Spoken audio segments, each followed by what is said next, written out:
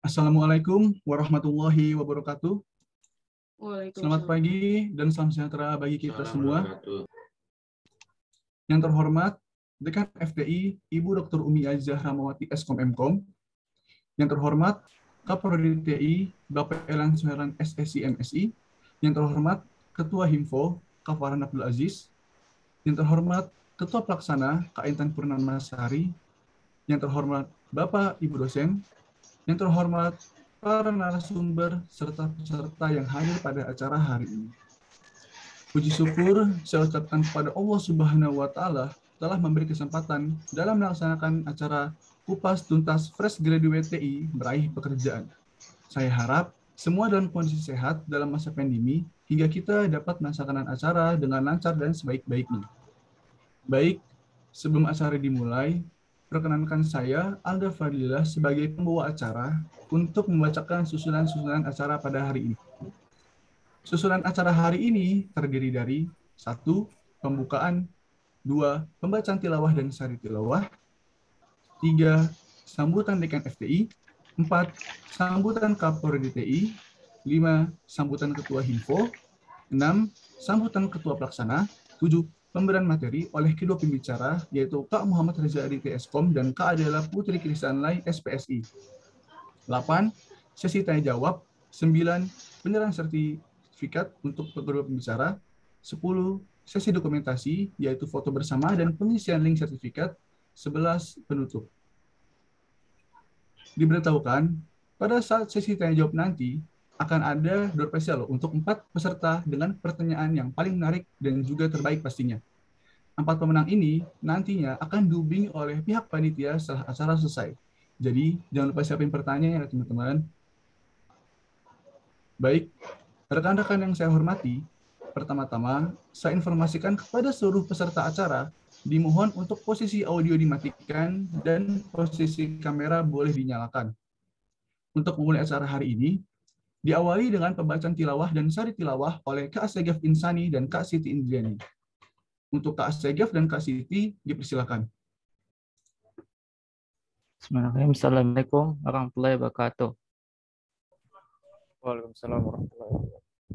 أعوذ بالله من الشيطان الرجيم بسم الله الرحمن الرحيم يا أيها الذين آمنوا إذا قيل لكم تفسحوا في المجالس تفسحوا في المجالس فافسحوا يفسح الله لكم. وإذا قيل انصروا فانصروا يرفع الله الذين آمنوا منكم. الذين آمنوا منكم والذين أوتوا العلم درجات والله بما تعملون خبير. يا أيها الذين آمنوا إذا ناجيتم الرسول فقدموا بين يدي نجواكم صدقة. ذلك خير لكم وأطهر. فإن لم تجدوا فإن الله غفور رحيم صدق الله العظيم Aku berlindung kepada Allah dari godaan syaitan yang terkutuk. Dengan menyebut nama Allah yang maha pengasih, lagi maha penyayang. Wahai yang beriman, apabila dikatakan kepadamu, berilah kelapangan di dalam majelis-majelis, maka lapangkanlah niscaya Allah akan memberi kelapangan untukmu. Dan apabila dikatakan berdirilah kamu, maka berdirilah. Niscaya Allah akan mengangkat derajat orang-orang yang beriman di antaramu dan orang-orang yang diberi ilmu beberapa derajat. Dan Allah maha mengetahui terhadap apa yang kamu kerjakan. Wahai orang-orang yang beriman, apabila kamu mengadakan pembicaraan khusus dengan Rasul, hendaklah kamu mengeluarkan sedekah kepada orang-orang miskin sebelum melakukan pembicaraan itu. Yang demikian itu lebih baik bagimu dan lebih bersih. Tetapi jika kamu tidak memperoleh yang akan disedekahkan, maka sungguh Allah Maha Pengampun, Maha Penyayang. Maha suci Allah atas segala firman. Assalamualaikum warahmatullahi wabarakatuh. Waalaikumsalam warahmatullahi wabarakatuh. Terima kasih atas pembacaan tilawah dari Kak Asegaf dan Kak Siti Indiani. Untuk acara selanjutnya adalah sambutan yang akan disampaikan oleh Dekan FDI, Ibu Dr. Umi Azizah Ramawati Eskom. Tetapi mohon maaf, eh, Ibu Dr. Umi Azizah belum bisa hadir pada acara ini. Dan untuk sambutan yang kedua akan disampaikan oleh Kapolri DTI, Bapak Elan Suerlan, SSC MSI. Untuk Pak Elan, dipersilahkan.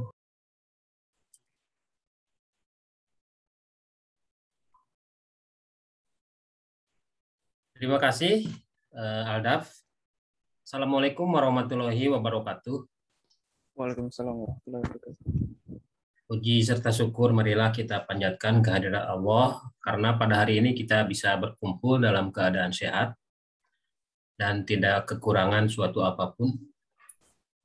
Uh, Salawat serta salam semoga senantiasa dilimpahkan kepada junjungan kita Nabi Muhammad SAW kepada para sahabatnya, para tabiin tabiin dan tentunya sampai kita ya yang rindu dimasukkan ke dalam pengikutnya. Uh, para alumni, fresh graduate dan juga para mahasiswa yang hadir di sini uh, melihat topik yang akan dibahas kali ini ini cukup penting ya bagi kalian karena bagaimanapun uh, selama studi tentunya kan ada yang ingin kalian gapai ya. Apakah itu bekerja di perusahaan ataupun membuat usaha sendiri dan lain-lain. Nah, tapi untuk bagi yang ingin bekerja di perusahaan, seperti ini penting dilakukan ya. Terutama terkait dengan bagaimana menyiapkan portofolio atau membuat uh, kurikulum vitae. Jadi saya mau cerita sebentar ya kemarin TI membuka lowongan pekerjaan ya untuk para dosen. Banyak lamaran yang masuk ya melalui email ke saya. Tapi ada kesulitan bagi saya. Kenapa? Karena lamaran yang masuk saya susah untuk menganalisa. Apa yang susah? Informasi tidak lengkap atau kadang-kadang seadanya ya terus ya dan lain-lain dan lain-lain lah. Nah, saya hal, hal seperti ini saya ingin tidak terjadi pada kalian pada saat nanti mencari pekerjaan. Karena bagaimanapun setiap perusahaan yang akan merekrut para karyawan, tahap pertama adalah dokumen. Ya, kelengkapan dokumen, kejelasan dokumen. Ditambah juga tentunya tata bahasa pada saat kita mengirim surat lamaran. Gitu ya. Kelengkapan dokumen, jadi selain apa ijazah transkrip sebetulnya lebih banyak dilihat itu adalah hal-hal yang lain. Ijazah transkrip mungkin udah pada umum ya. Tapi hal yang lain adalah yang harus disiapkan adalah dari aspek pengalaman kalian selama kuliah. Pengalaman kalian selama berorganisasi, pengalaman kalian kalian eh, dalam membuat karya. Nah, itu itu harus terlihat di dalam portofolio atau CV kalian. Jadi eh, webinar kali ini sangat penting menurut saya bagi kalian para mahasiswa dan para lulusan yang baru ya, lulusan yang ya nanti Oktober Oktober ini akan lebih sudah. Agar apa? Agar ya memang jangan sampai lamaran kalian itu tidak melalui proses wawancara tapi hanya sebatas desk evaluation saja. Kelengkapan ah ini nggak lengkap udah lempar saja sama bagian HRD. Karena terus terang bahwa setiap perusahaan tentunya banyak sekali lamaran yang yang numpuk itu ya yang harus mereka periksa. Daripada membuang-buang waktu ya mereka akan memeriksa lamaran yang dokumennya lengkap gitu ya. Nah, ini sehingga penting buat kalian.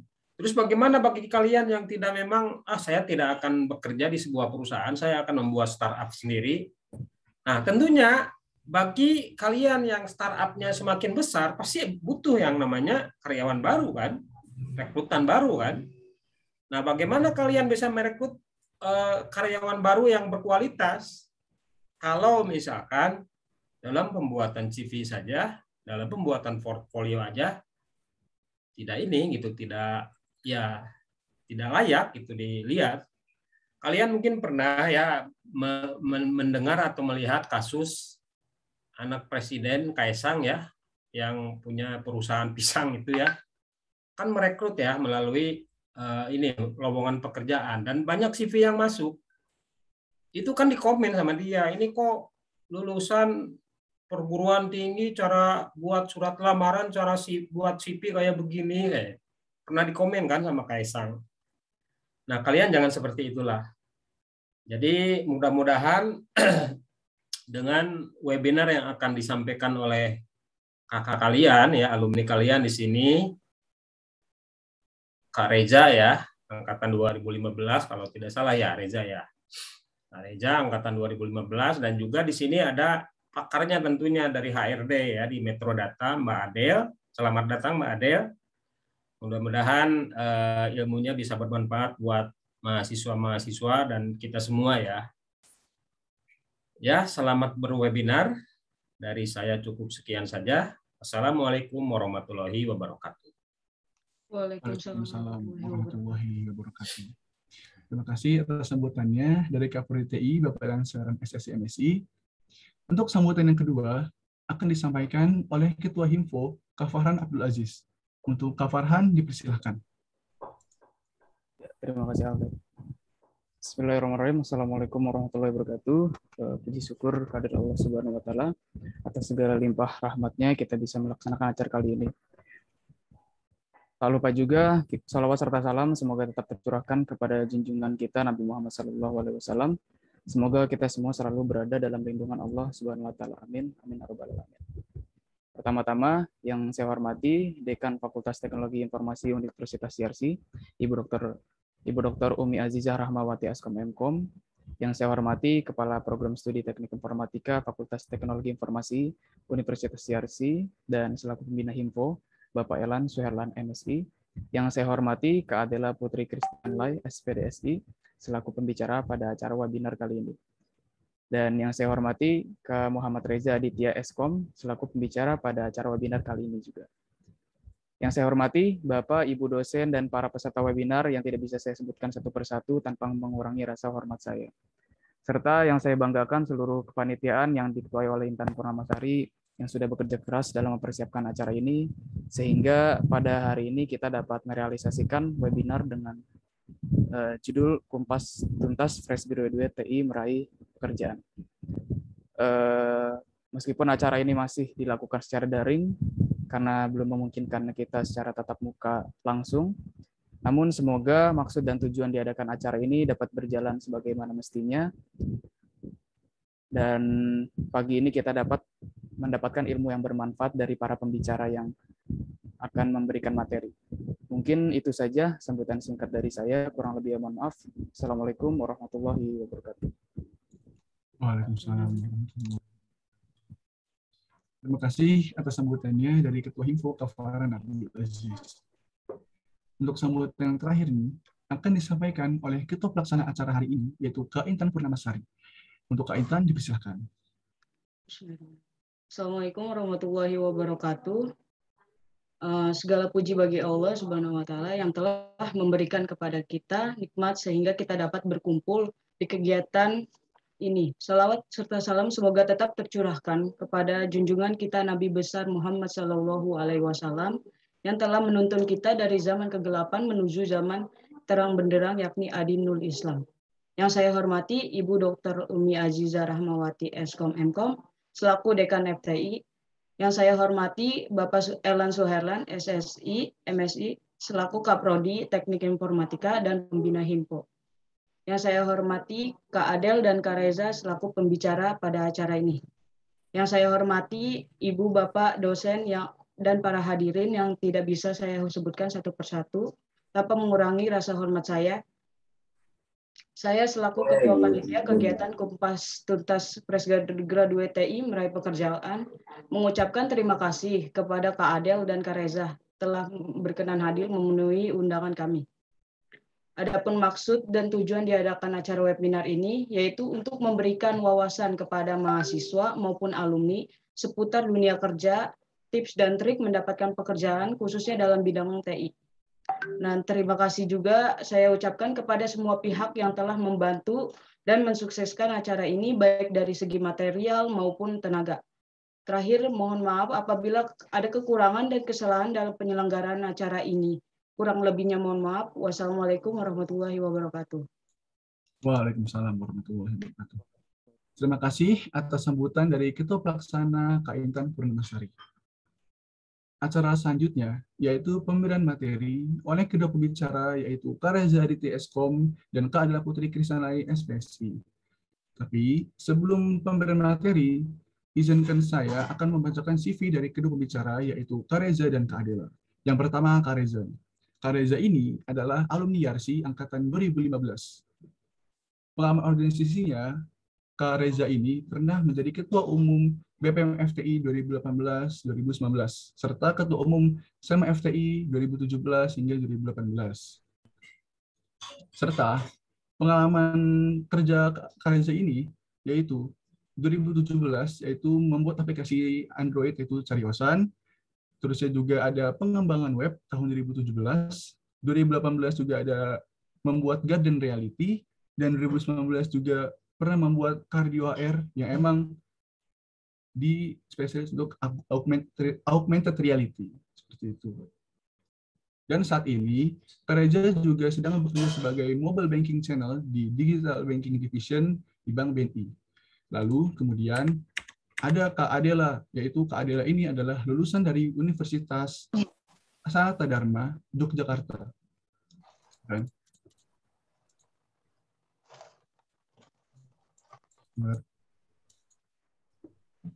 Adela ini juga memiliki pengalaman organisasi, yaitu sebagai Ketua KPU Fakultas Psikologi tahun 2015, serta kedua Ketua Dewan Perwakilan Mahasiswa tahun 2015 juga.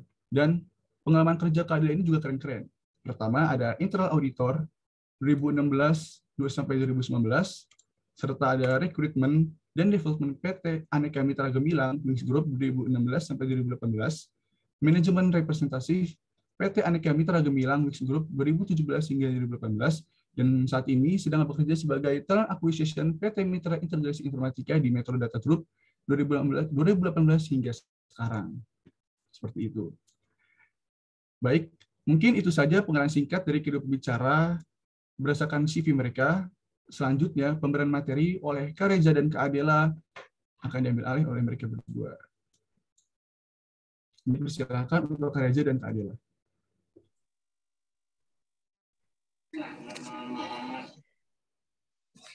Halo, selamat pagi. Pagi. Pagi, Kak. Ya, suara saya sudah terdengar jelas ya. Terdengar, Kak. Oke. Mana nih Reza nih? Halo Reza. Halo, selamat pagi semua. Mana pagi, Reza? Kak. Ada. Oke. Hai Reza. Terakhir kali saya yang interview kamu ya? Iya, Pak. Oke. Okay. sudah dua tahun lalu mungkin.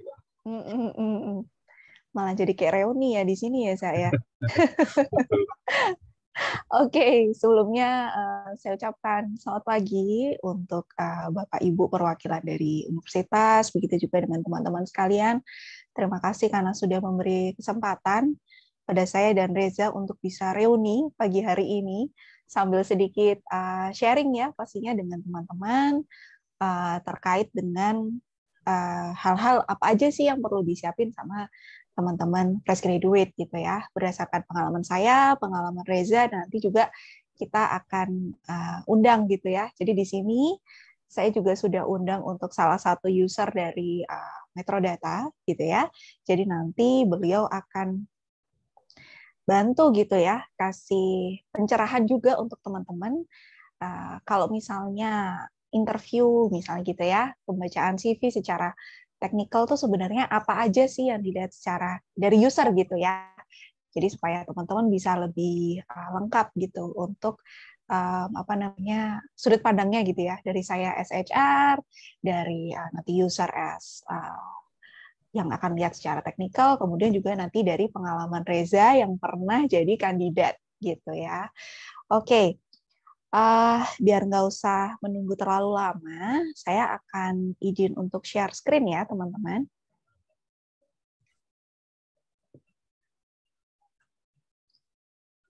Oke. Ya.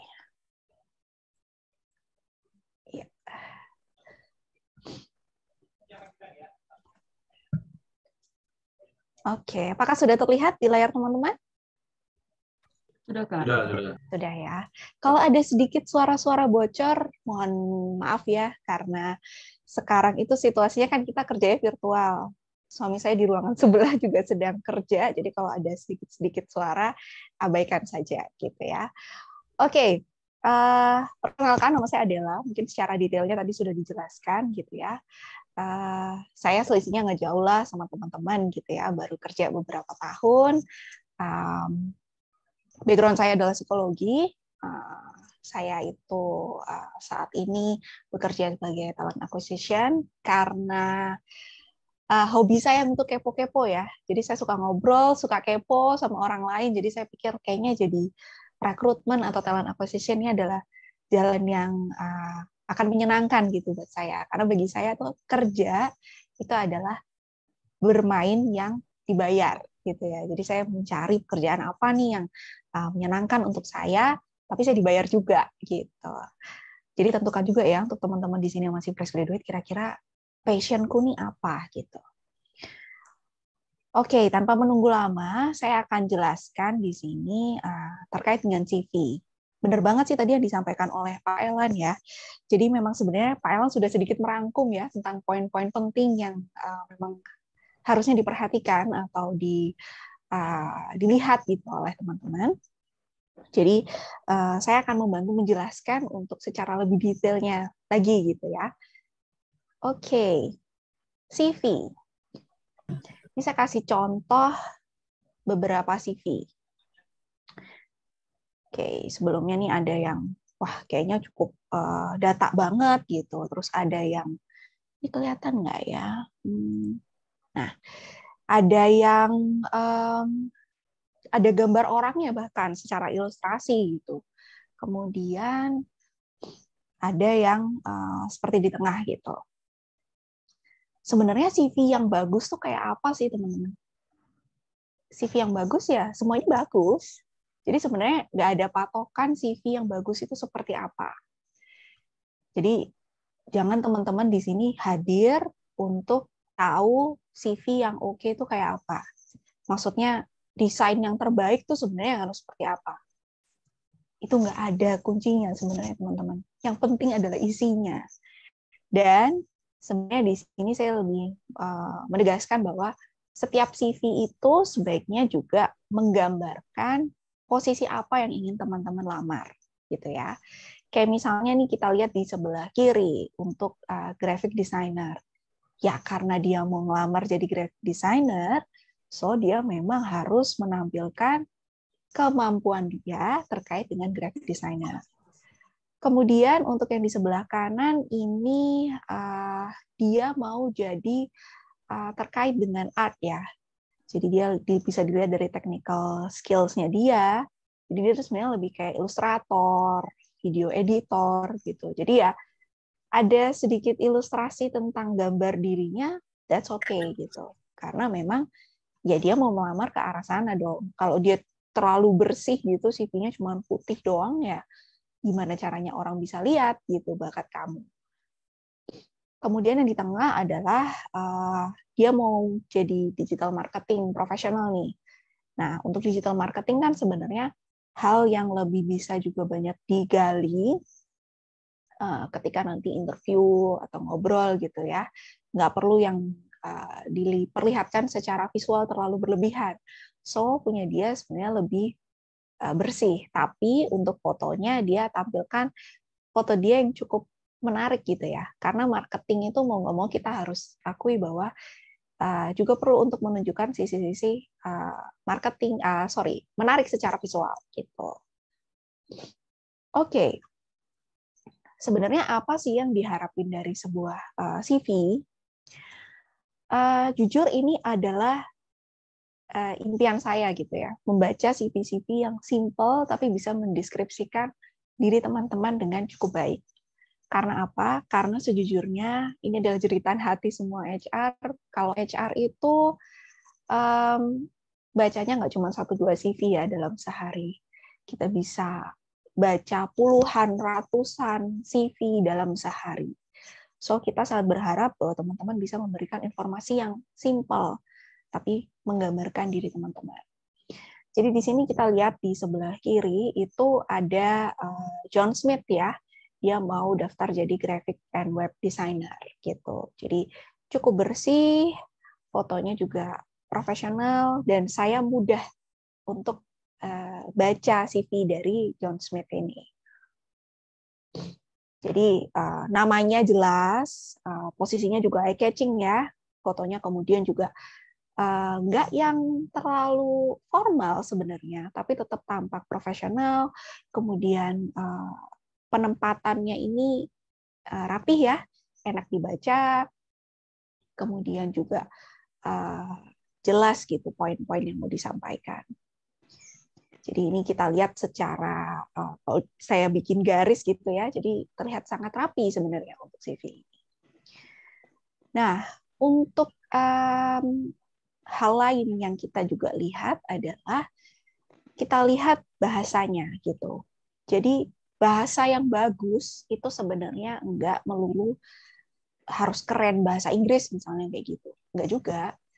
Ya, silahkan uh, tuliskan CV teman-teman dengan bahasa yang teman-teman kuasai. Jadi teman-teman bisa menulis dengan rapi, dengan bahasa yang baik.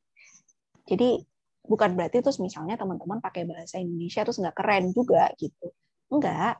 Tapi kalau kalian itu maksain nih misalnya. Nggak terlalu oke okay nih pakai bahasa Inggris. Maksain pakai bahasa Inggris. Nah nanti bisa jadi grammarnya amburadul atau misalnya teman-teman itu uh, copy gitulah ya dari uh, apa namanya sebuah web atau googling atau apa pun itu. Ternyata uh, pemahaman teman-teman terhadap apa yang mau teman-teman copy ini nggak sama. Jadi ketika nanti uh, teman-teman di interview kok jadinya dia nulisnya apa, tapi kok yang kita gali sebagai HR apa gitu. Jadi nggak nyambung gitu. Jadi mending untuk amannya silahkan gunakan bahasa yang teman-teman kuasai. Kemudian uh, yang kedua adalah fakta fakta, kenapa kita katakan fakta di sini, bisa teman-teman lihat ya di kotak-kotak merah ini. Jadi misalnya kayak kontak, silahkan sampaikan atau tuliskan kontak-kontak yang bisa dihubungi. Jadi kadang ya, saya nggak ngerti ya, kadang ada orang yang suka gonta-ganti nomor, atau um, ternyata dicantumkan nomor WhatsApp, bukan nomor yang bisa dihubungi by phone, misalnya seperti itu. Jadi kita agak sulit untuk menghubungi teman-teman gitu. Dan saran saya sih memang juga kalau misalnya uh, menuliskan untuk kontak ini, tolong bikin kontak yang uh, profesional ya, gitu. Jadi uh, saya sering kadang kalau nemuin uh, email gitu ya, jadi namanya misalnya Farhan gitu, ya farhan at gmail.com misalnya gitu, ya itu oke okay lah. Tapi misalnya Farhan underscore cute gitu kan jadi kayak um, agak alay kah orang ini gitu. Jadi tolong juga uh, tuliskan untuk uh, data-data yang bisa menunjukkan buat teman-teman juga profesional kayak gitu. Dan alamat rumah juga alamat rumah uh, terkini gitu ya, sesuai dengan domisili teman-teman. Jadi perhatikan jangan sampai ada salah-salah uh, tulis ya gitu karena kadang juga kalau misalnya kurang satu nomor aja kan juga bisa Eh, nggak bisa dihubungin kayak gitu. Kemudian yang relevan, uh, relevan di sini memang harapannya seperti yang saya kotakin di situ itu bagian skill, kemudian uh, sosmed gitu ya. Jadi ya skillnya ya harapannya juga relevan gitu. Kenapa saya katakan di sini relevan? Karena terkadang eh, apa yang didaftar dengan apa yang skill yang disampaikan itu nggak nyambung. Atau misalnya um, uh, apa namanya menuliskan jadi menu-menuin CV dengan hobi misalnya gitu. Ya hobi nggak apa-apa sih. Tapi kalau misalnya kamu mau daftar jadi uh, graphic and web designer terus hobi kamu memancing itu kan sebenarnya kayak menu-menuin ya. Hobi kamu menyanyi ya itu sebenarnya juga nggak menu-menuin tapi kalau misalnya mungkin ngasih kayak ah, ya fotografi gitu-gitu ya masih ada nyerempet-nyerempet dikit lah gitu terkait dengan uh, visual gitu ya. Jadi benar-benar please uh, tuliskan yang seperlunya aja gitu. Kemudian juga uh, terkait sama tadi fakta untuk work experience dan education ya sesuai aja sama teman-teman uh, punya pengalamannya di mana gitu ya. Jadi jangan misalnya Eh, teman-teman lulusan YARSI tapi ngakunya dari Harvard gitu kan tidak bisa ke tracking juga ya itu kan namanya nggak sesuai dengan ijazah teman-teman misalnya kayak gitu sama ini sederhana sih tapi kadang agak dilupain gitu. jadi please tulisin secara historical atau urut boleh dari atas ke bawah, maksudnya dari misalnya nih pekerjaan terbaru, baru pekerjaan terlama teman-teman. Atau dari pekerjaan terlama teman-teman, pekerjaan pertama teman-teman ke pekerjaan terakhir teman-teman. Begitu juga dengan pendidikan ya. Jadi pendidikan misalnya dari um, kuliah baru SMA atau SMA baru kuliah gitu. Jadi urut gitu ya teman-teman supaya kita bacanya juga lebih enak seperti itu. Um, sama mungkin kalau saya boleh uh, sampaikan terkait dengan education itu nggak perlu dari TK mungkin ya. Jadi uh, TK SD gitu nggak perlu lah sebenarnya dua pendidikan terakhir aja cukup sih gitu. Jadi kayak misalnya saya lulusan S1 ya saya tuliskan saya SMA-nya pernah di mana, kemudian saya kuliah di mana. Seperti itu.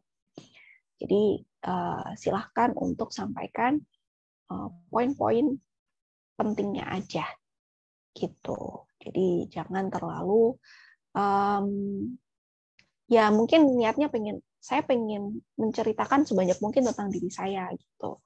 Tapi ya sebenarnya itu nggak perlu segitunya kok teman-teman. Jadi benar-benar teman-teman ngelamarnya apa, di situ kebutuhannya apa, ya silahkan dituangkan ke CV teman-teman gitu. Jadi, oh saya, eh, perusahaan ini butuhnya ini. Misalnya butuhnya programmer. Ya saya akan tunjukkan atau sampaikan skill-skill saya terkait dengan programming. Misalnya bahasa pemrograman apa yang saya pahami. Uh, untuk uh, kadarnya kan kadang teman-teman pakai uh, seperti ini ya. Jadi kayak berapa persennya, berapa Eh, besarnya kamu tahu gitu. Jadi ya silahkan juga disesuaikan, diurutkan aja. Jadi dari bahasa pemrograman yang paling kamu pahami deh kayak gitu. Jangan semua bahasa pemrograman yang kamu dapat di perkuliahan kemudian kamu uh, tuliskan di situ gitu. Padahal mungkin sebenarnya nggak semuanya kamu pahami sungguh-sungguh gitu. Jadi misalnya, oh saya cukup banyak belajar tentang Java, oh saya cukup belajar tentang Python misalnya kayak gitu ya silahkan dituliskan di situ disampaikan nggak perlu semuanya ditulisin dimasukin ke situ nggak perlu gitu nanti kan kalau misalnya terkait dengan hal-hal itu nanti dalam proses uh, interviewnya itu nanti juga pasti akan uh, bisa kita gali sama-sama oh ternyata dia juga tahu ini tahu ini. Kan malah jadi keren kan oh ternyata selain ini dia juga tahu ini itu daripada tulisannya banyak tapi ternyata nggak uh, banyak yang tahu gitu. Di tahunnya ternyata cuma basic-basic doang gitu kan malah jadi oh sebenarnya dia expertnya cuma di sini kayak gitu. Jadi uh, buatlah kesan teman-teman itu uh, punya pengalaman atau pengetahuan yang mendalam di satu dua hal tapi juga punya pengetahuan lain di hal yang lainnya gitu itu kan malah jadi terkesan lebih menarik gitu buat kami para uh, interviewer kayak gitu gitu sih. Sebelumnya saya mau ngobrol dulu nih sama Reza. Reza dulu kamu pengalaman bikin CV gimana, Za? Pengalaman bikin CV waktu itu sebelumnya aku cari referensi sih, Mbak. Kayak Mm -mm. ya, mungkin kayak tanya-tanya ke senior juga kan ada beberapa yang udah pernah lulus ataupun udah masuk kerja gitu. Kak bikin Mm-mm. CV gimana? Cari-cari di tutorial di YouTube dan lain-lain. Aku mulai urutin ya gitu, Mbak. Kayak pertama ya masih masih belum proporsional lah untuk ke kita Ya. ke perusahaan. Tapi lambat laun aku udah mulai ngerti kita harus ya kayak tadi kayak Mbak Adel bilang kita harus rapi atau Mhm. grade-nya itu harus sama antar antar item yang harus kita ceritakan ke CV Mhm. ini. Kayak Mm. tadi kayak harus nama dan bawahnya itu kemungkinan ada nama universitas atau Ya. apa jurusan kita di kuliahan gitu, Mbak. Mhm. Pengalaman sih untuk bikin CV ya Mhm. mungkin bagus sih untuk saya, Mbak. Karena, karena langsung langsung saya apply ke beberapa perusahaan dan alhamdulillahnya eh, ada ada yang ada yang panggil gitu, Mbak, dari HRD-nya begitu. Oke. Jadi eh, apa yang dilakukan Reza ini sebenarnya sudah cukup baik ya. Jadi teman-teman itu nggak berarti terus harus benar-benar cuman eh, ngikutin apa yang saya sampaikan misalnya kayak gitu. Tapi teman-teman juga bisa cari tahu ke alumni, ke orang yang sudah berpengalaman atau mungkin googling gitu atau mungkin seperti teman-teman saat ini ikut seminar seperti ini. Jadi teman-teman punya gambaran gitu ya. Karena pastinya bingung ya Reza ya waktu pertama Hmm. kali aduh CV ini mau nulis apa ya. Betul, betul. Saya aja dulu juga bingung mau nulis apa gitu. Aduh di CV itu apa aja yang harus ditulisin. Hmm. Kayaknya semua mau diceritain gitu ya Zaya. Iya, gitu. Karena kan pengalaman bikin CV itu waktu pertama kita ada magang ya, Mbak. Itu juga bikin CV. Oke. gitu. Ya ada beberapa yang setelah saya bikin di review Mhm. ke temen dulu, kok gini, kok gini, akhirnya dibetulkan lagi, betulkan. Hmm. Ya, ya, ya, ya. Learning by doing ya. Jadi Iya. kamu, aduh saya mau magang di kepepet nih, mau nggak mau harus bikin CV nih. Oke deh, coba bikin CV gitu. Nah ini juga penting nih teman-teman. Jadi eh, ketika kita bikin CV, nggak ada salahnya untuk kita nanti tunjukkan CV tersebut ke orang lain gitu ya. Bisa ke teman kita, bisa ke eh, papa mama mungkin, atau orang yang kita percaya untuk bisa uh, baca CV kita gitu supaya paling tidak teman-teman itu uh, bisa tahu nih dari sudut pandang orang lain. Kira-kira mereka jelas nggak sih sama apa yang kita tulisin gitu? Apakah uh, mungkin ada yang typo atau mungkin ada yang um, penulisannya itu oh ternyata bagi saya udah rapi tapi bagi orang lain nggak rapi misalnya kayak gitu. Jadi uh, penting juga untuk punya pendapat dari orang lain gitu ya.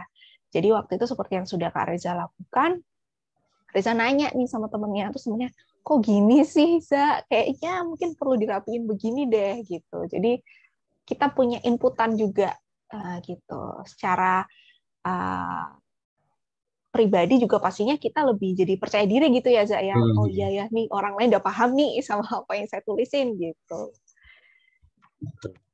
Iya, jadi um, itu tadi ya teman-teman ya. Silahkan untuk uh, buat CV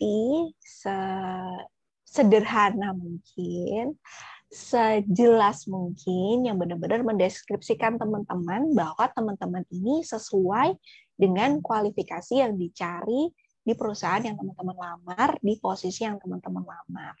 Dan pastikan juga kalau ini semua itu jelas dengan bahasa yang baik dengan fakta-fakta yang sesuai relevan dan uh, historical gitu ya, runut, jadi enak dibaca kayak gitu. Jangan yang peletakannya nanti namanya di sini. Kadang tuh saya bingung loh, kalau misalnya uh, nomor telepon atau email tuh ditaruh di footer.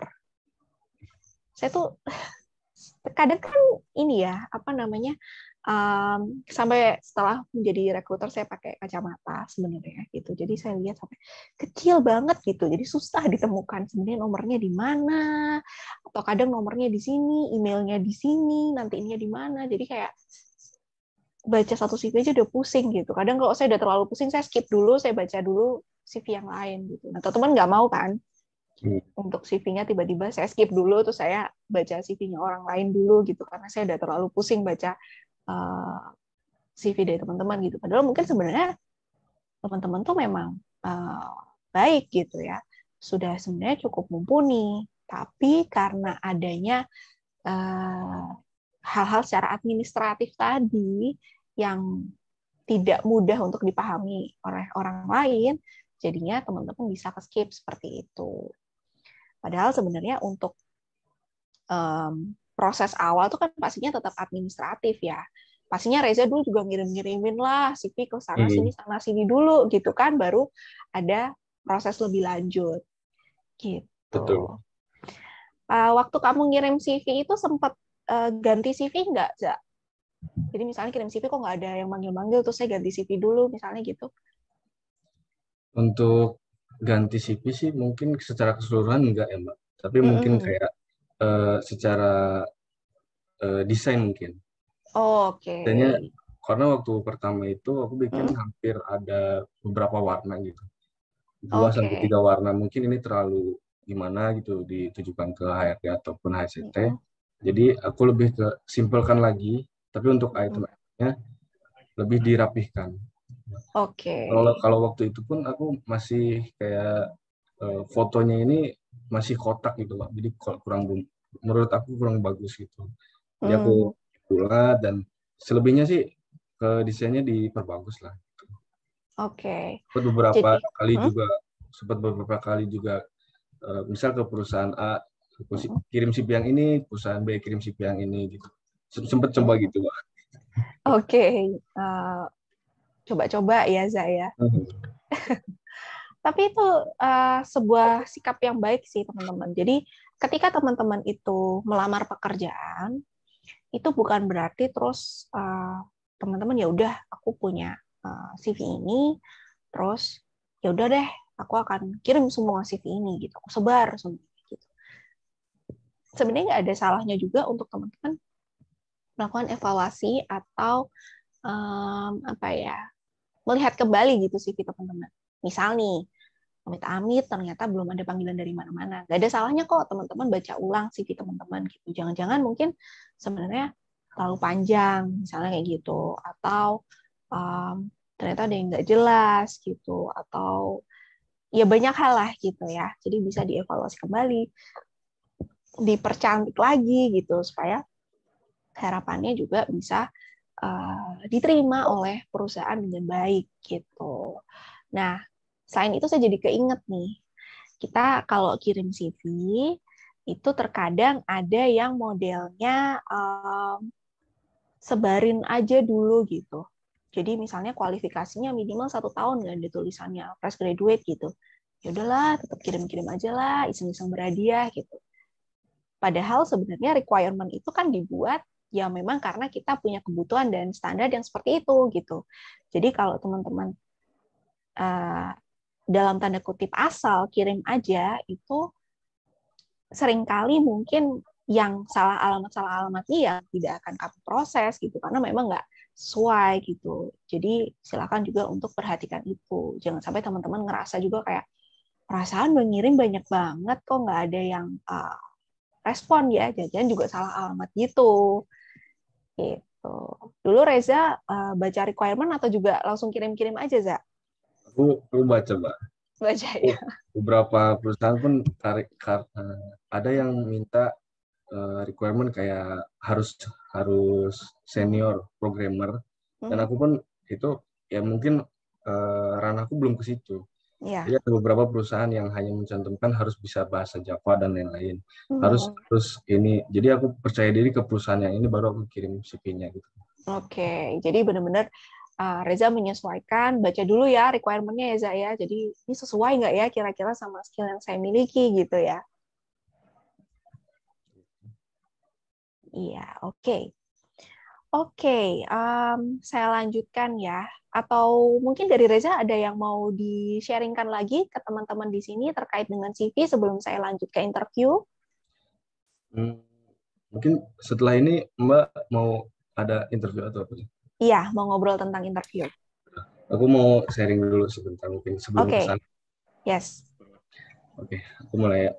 Eh, ini adik angkatan kebanyakan angkatan 2000 berapa ya? 2018 atau 2017 ya? Yang baru lulus kemarin gitu. 17 yang baru lulus, ya. Pas ya, Pak? Iya, 17. Ada Thailand. Thailand ke 2017 ya.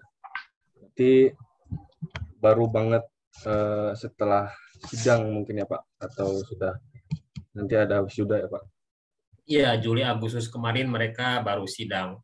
Mhm. Sekarang sedang menjadi ini apa para pencari Tuhan. Eh maaf, para pencari kerja. Iya begitu. So, terus eh, dari ini sedikit sharing ya, bukan maksud ada materi atau apa karena istilahnya ini ada apa wejangan dari kakak ke adik begitu istilahnya. Karena kan ada alum, aku juga alumni begitu. Sempat pegang juga di eh, SEMA dan BPM gitu. Sedikit sharing waktu setelah kita anggap setelah eh, sidang skripsi ya setelah sidang skripsi dinyatakan lulus dan eh, hasil nilainya keluar antara A atau B dan lain-lain. Itu aku langsung eh, membuatan CV, cari tanya-tanya ke senior, cari tanya ke ke yang sudah pernah bekerja, pembuatan CV gimana, dan langsung mencari kerja. Nah, diusahakan eh, pas pencarian kerja ini eh, kita tuh udah bukan anak kuliah lagi gitu kita baru aja setelah dinyatakan lulus dan masuk ke dunia pekerjaan yang benar-benar itu sesungguhnya penerapan ilmu kita di pendidikan yang sebelum-sebelumnya entah itu di SMA atau kuliah gitu. Nah, memanfaatkan memanfaatkan situs pencarian pekerjaan yang pertama kayak banyak lah ada job street dan lain-lain. Itu juga sangat penting untuk kita apa sih requirement perusahaan, apa sih perusahaan yang yang dicari ini fresh graduate seperti apa gitu. Jadi kita ada pedoman untuk ke sana. Gitu. Yang kedua, setelah mencari pekerjaan, pekerjaan ini se sejalan nggak sama passion kita, sejalan nggak eh, kita bekerja di sana ini happy nggak nantinya atau gimana gitu. Karena mengenali potensi diri ini sangat penting juga gitu. Terus yang ketiga ada istilahnya gimana ya? Eh, dalam tanda kutip jangan terlalu memilih pekerjaan dalam tanda kutip. Uh, ucapan ini saya sebutkan karena setelah kita memilih perusahaan ada requirement 1 2 3 dan 4 gitu. Kita juga punya passion diri kita sendiri. Kita melamar ke perusahaan A, perusahaan B.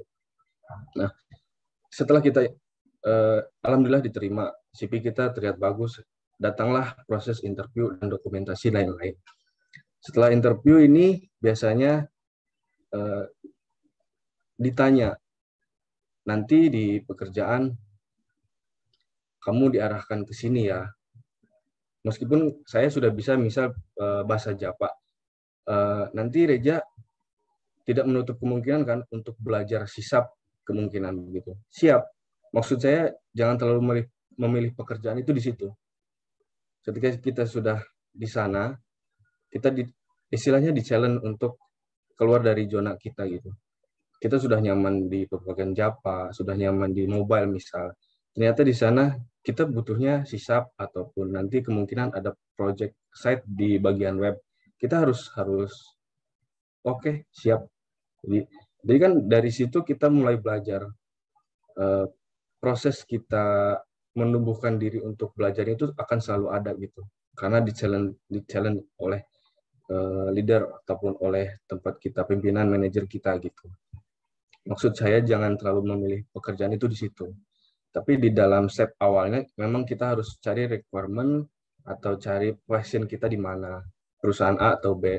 Kadang kita juga punya tujuan perusahaan mana nih? Inceran kita gitu. Itu harus kita perjuangkan gitu. terus yang berikutnya ada memperluas jaringan gitu. Perjaringan ketika kita sudah sidang uh, oh ya sedikit cerita saya masuk ke pekerjaan masuk ke dunia pekerjaan dan diterima itu sebelum wisuda waktu itu.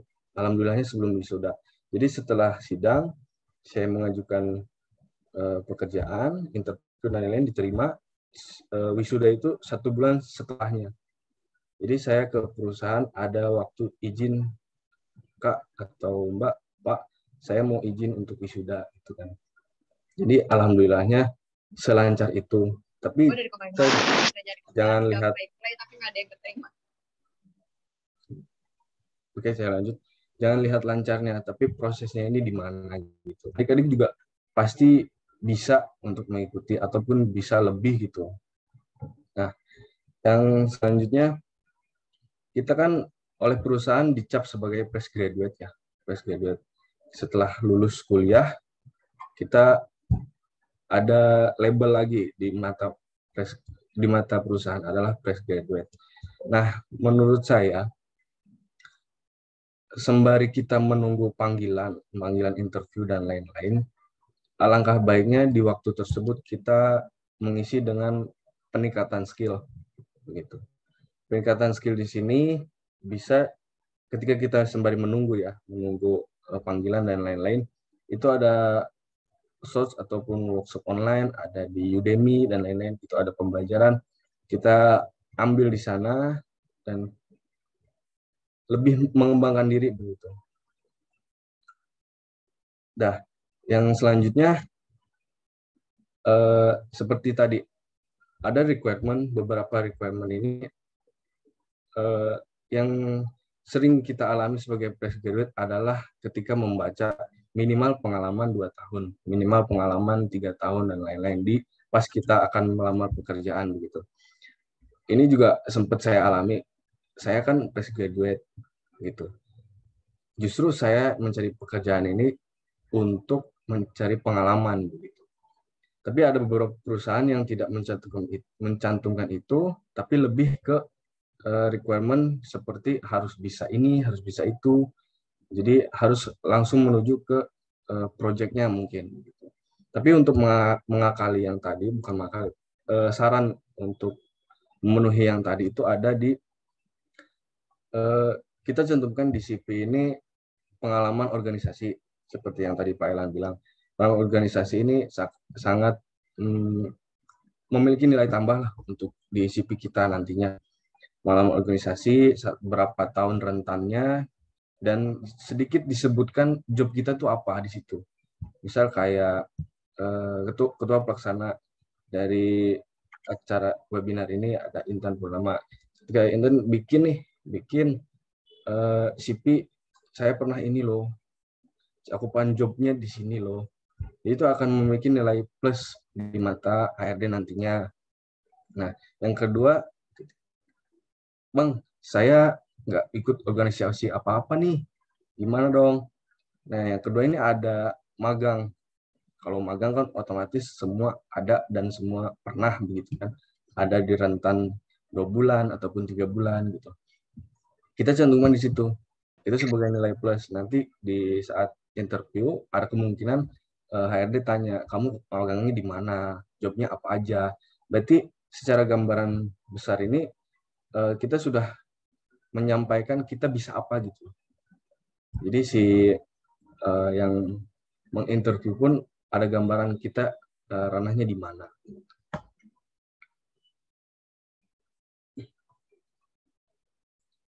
Nah, untuk selanjutnya eh, pengalaman ketika saya sudah ceritanya sudah diterima. Waktu itu aku diterima di MII di Integrasi Informatika itu ada yang namanya bootcamp gitu. Nah, sadar akan hal ini waktu itu aku sempat ditanya juga akan ambil bootcamp atau enggak. Aku, aku pilihnya uh, ambil ambil bootcamp. Karena kenapa? Uh, ilmu secara ke, ke, secara besar ilmu di dunia kuliah dan di dunia pekerjaan ini uh, tidak begitu jauh, tapi ada beberapa perbedaan sangat jauh. Jadi aku pun lebih ambil dulu bootcamp. Bootcamp ini ada kisaran 2 sampai 3 bulan. Di sini kita diperkenalkan dunia perusahaan ini dunia perusahaan atau tata krama atau etika dalam profesional pekerjaan ini seperti apa gitu. Nah, ilmu ini kan tidak tidak ada sedikit spill di di perkuliahan, tapi kan lebih banyak di dalam bootcamp ini. Jadi aku sarankan beberapa adik-adik jadi eh, tidak tidak menutup harus harus harus bootcamp ya, enggak. Maksudnya eh, alangkah baiknya kita masuki dunia perusahaan ini pelan-pelan begitu. Jadi ada beberapa hal yang kita tidak tahu di sana seperti apa. Jadi kita masuk dulu masuk dalam tiga bulan ini ataupun bootcamp ini kita diajari pelan-pelan dan ketika kita masuk ke perusahaan tersebut, misal saya sekarang di BNI, kita udah tahu nih acuan atau pedoman apa aja, kita harus beretika apa aja di BNI. Gitu. Nah, setelah setelah itu baru baru dimasukkan ke divisi, misal divisi di divisi saya alhamdulillah di mobile banking ini di bagian uh, Android ada, di bagian gamifikasi ada. Untuk sekarang uh, baik lagi ke pengalaman kita. Nanti pun ada satu dua bulan kita merasa adaptasi lagi gitu. Seperti kita baru masuk kuliah, adaptasinya seperti apa kita masuk ke perusahaan adaptasinya seperti apa gitu. Jadi jangan menutup kemungkinan nanti akan berkenalan dengan tipe-tipe orang yang uh, ataupun leader kita atau teman rekan kerja kita yang uh, tidak sependapat dengan kita itu harus menyikapnya seperti apa. Dan beberapa tax ataupun job yang diberikan pun itu kadang keluar dari zona nyaman kita. Dan itu pun tidak bisa kita hindari dan malah kita harus lebih semangat. Kita harus oh ada challenge ini nih. Kita harus belajar lagi fundamentalnya, harus lagi belajar lagi dan e, secara runtutan kerjanya seperti apa, kita harus alurnya ke mana. Itu jangan menutup kemungkinan ah saya nggak bisa pak, saya nggak bisa mas, boleh ke rekan saya aja nggak? Oh itu itu nggak bisa, nggak bisa seperti itu. Kita ada di bawah naungan perusahaan dan kita juga harus secara optimal lah begitu.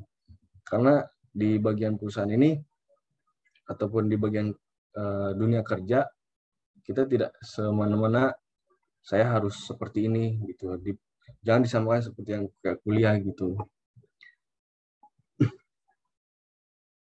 Mungkin uh, adik-adik juga beberapa kebingungan beberapa setelah lulus sidang dan setelah kita lagi cari nih ke mana ke mana mungkin ada beberapa pertanyaan yang sudah terjawab sebelumnya oleh uh, Kak Adel dan oleh saya juga.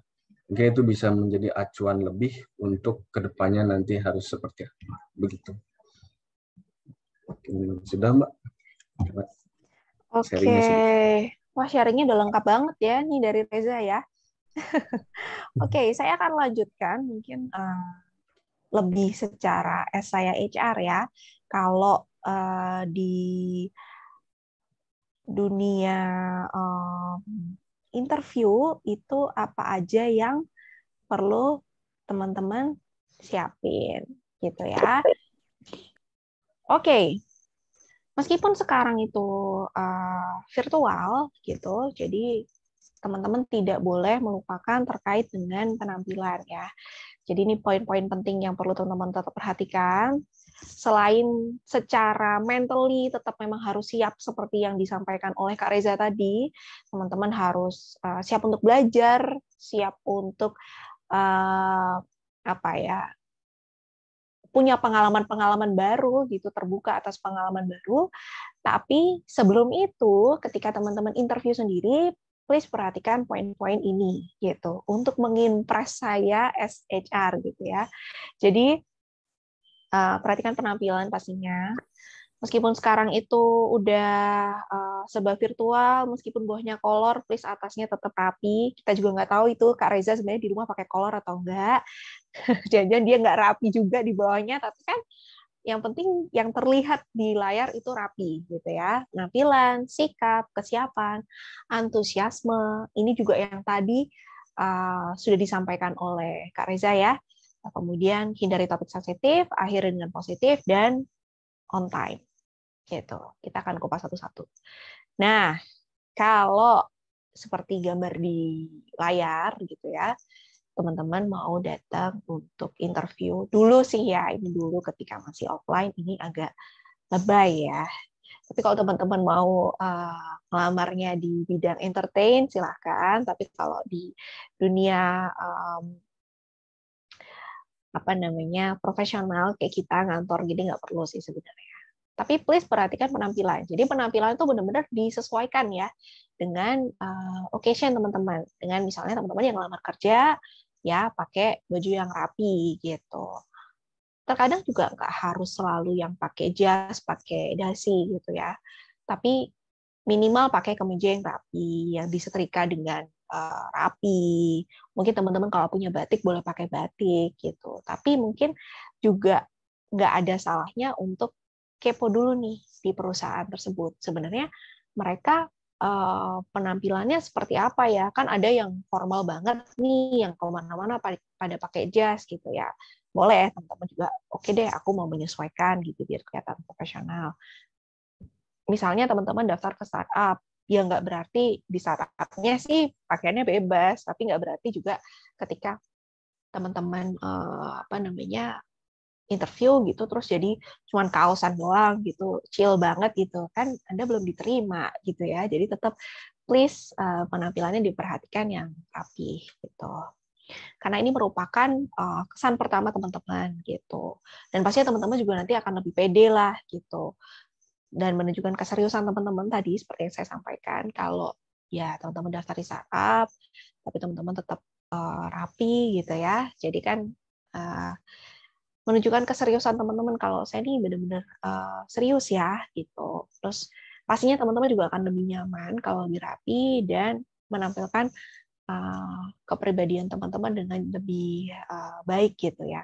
Kepribadian di sini lebih tepatnya kayak uh, itu tadi keseriusan teman-teman juga pastinya uh, memberikan kesan yang uh, baik gitu.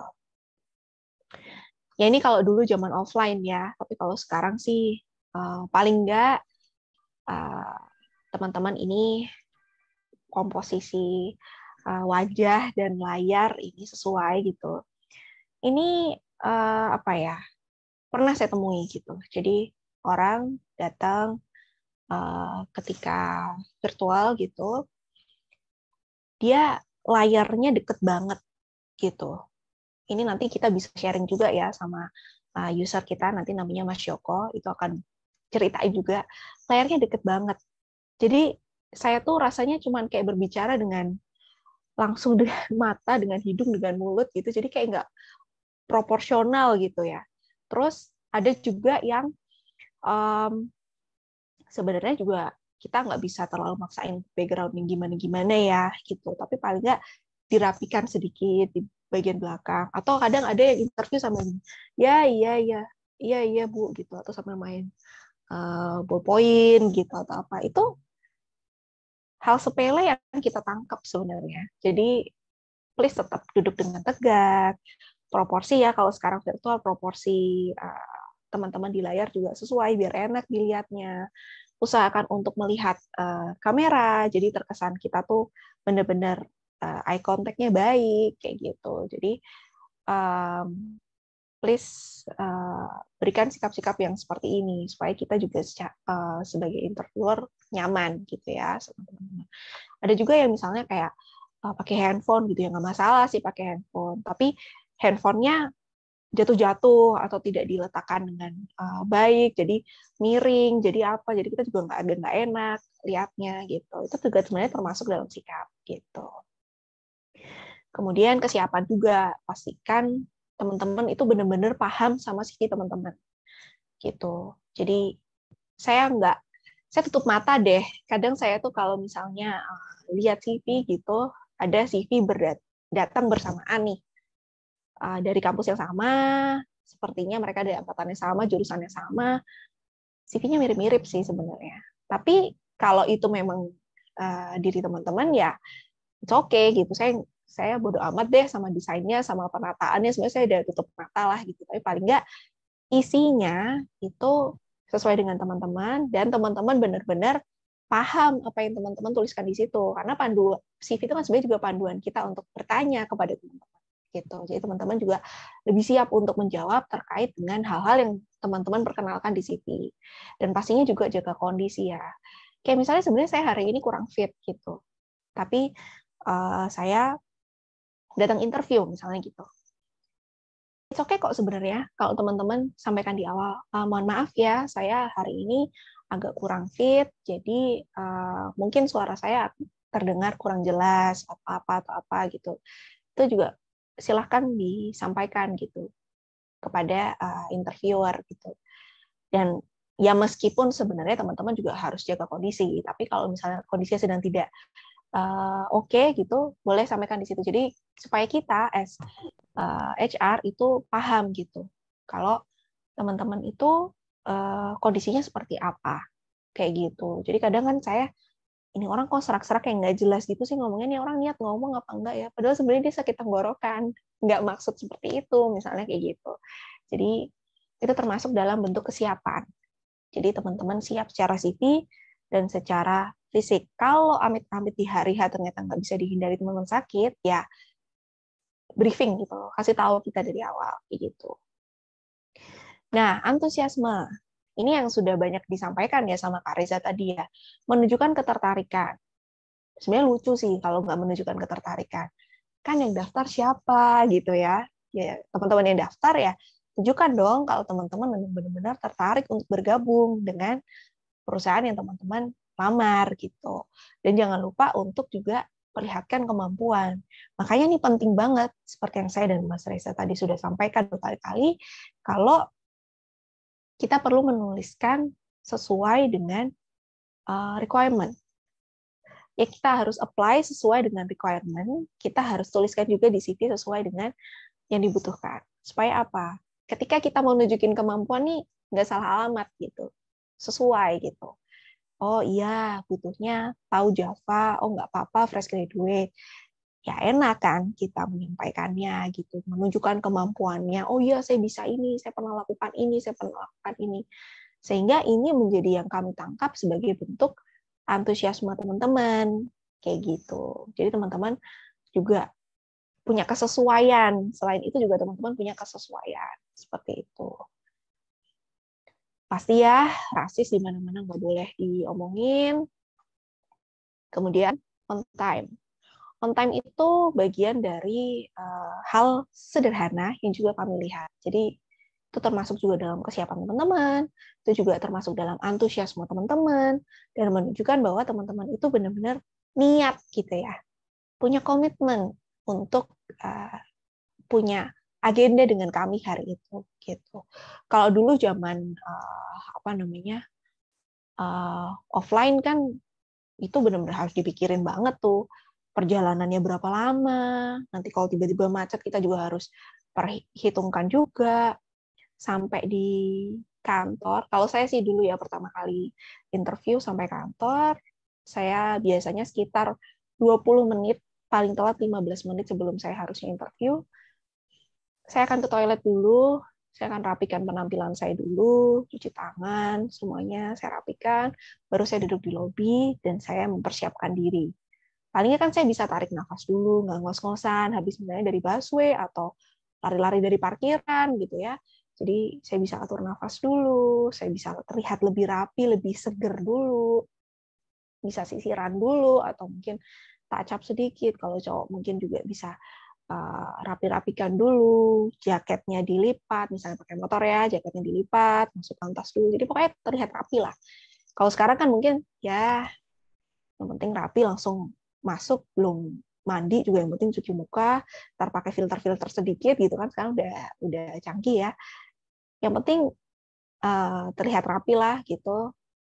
Nanti masuk sekitar 15 menit, 10 menit sebelum waktu interview gitu. Saya pribadi sebagai interviewer itu seneng banget kalau punya kandidat yang dia on time gitu. Bahkan sebelum saya masuk dia udah nunggu di lobby nih. Ini saya seneng banget nih. Jadi oke okay lah, berarti ini orang udah siap, udah cepet gitu. Jadi nggak perlu saya nunggu-nunggu. Apalagi kalau sampai saya telepon-telepon dulu, aduh itu saya pengen nggak suka. Jadi kayak ini orang niat nggak sih sebenarnya cari kerja kayak gitu. Kalau if ada sesuatu buruk terjadi amit-amit ya terhadap teman-teman, detik-detik terakhir teman-teman mau interview, please hubungin kami HR.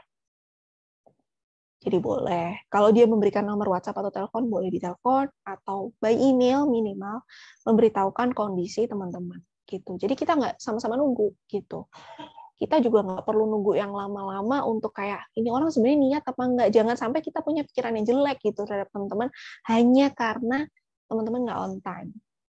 Atau misalnya teman-teman saya nggak bisa hadir atau saya mungkin telat sekian lama karena uh, misalnya jaringan uh, di rumah saya lagi ada apa gitu. Atau misalnya saya sudah coba pakai mobile dan lain-lain gini-gini tapi ternyata ini atau apalah gitu. Jadi sampaikan ya kendala teman-teman yang membuat teman-teman nggak bisa on jadi kita nggak perlu tunggu.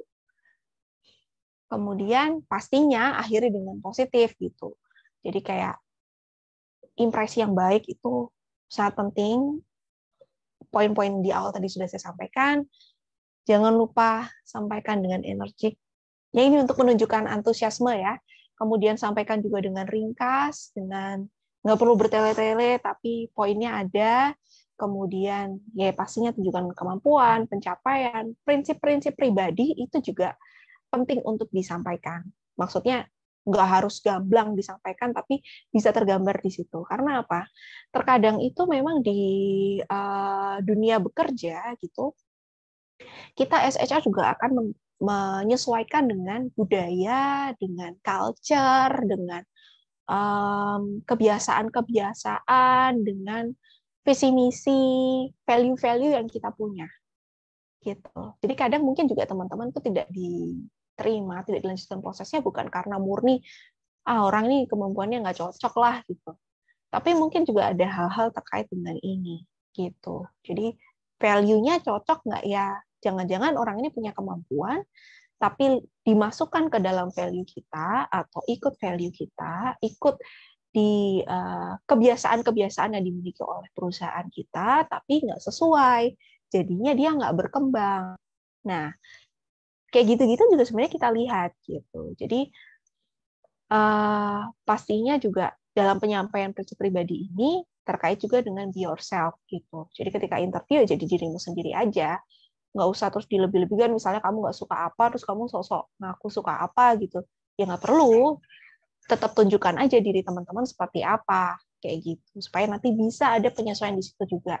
Supaya nanti teman-teman tidak perlu adanya uh, penyesalan juga ya kayak misalnya waktu di interview begini kok ngomongnya oke okay, tapi ternyata ketika dijalanin nggak oke okay, kayak gitu gitu ya terima kasih itu maksudnya ya attitude ya jadi buka dengan salam, kemudian ditutup dengan terima kasih, ya, gitulah.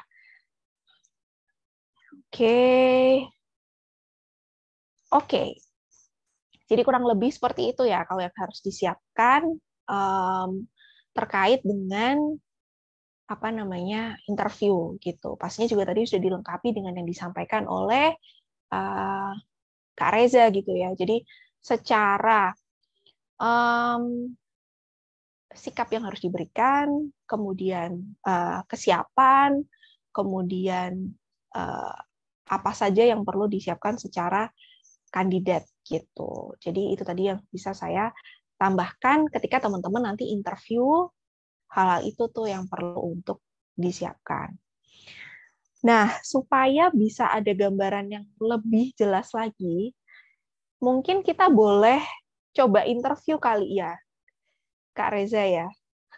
Interview itu kayak apa biar punya gambaran gitu ya. Wah, iya, sebenarnya interview itu kayak apa? Aku bakal ditanyain apa?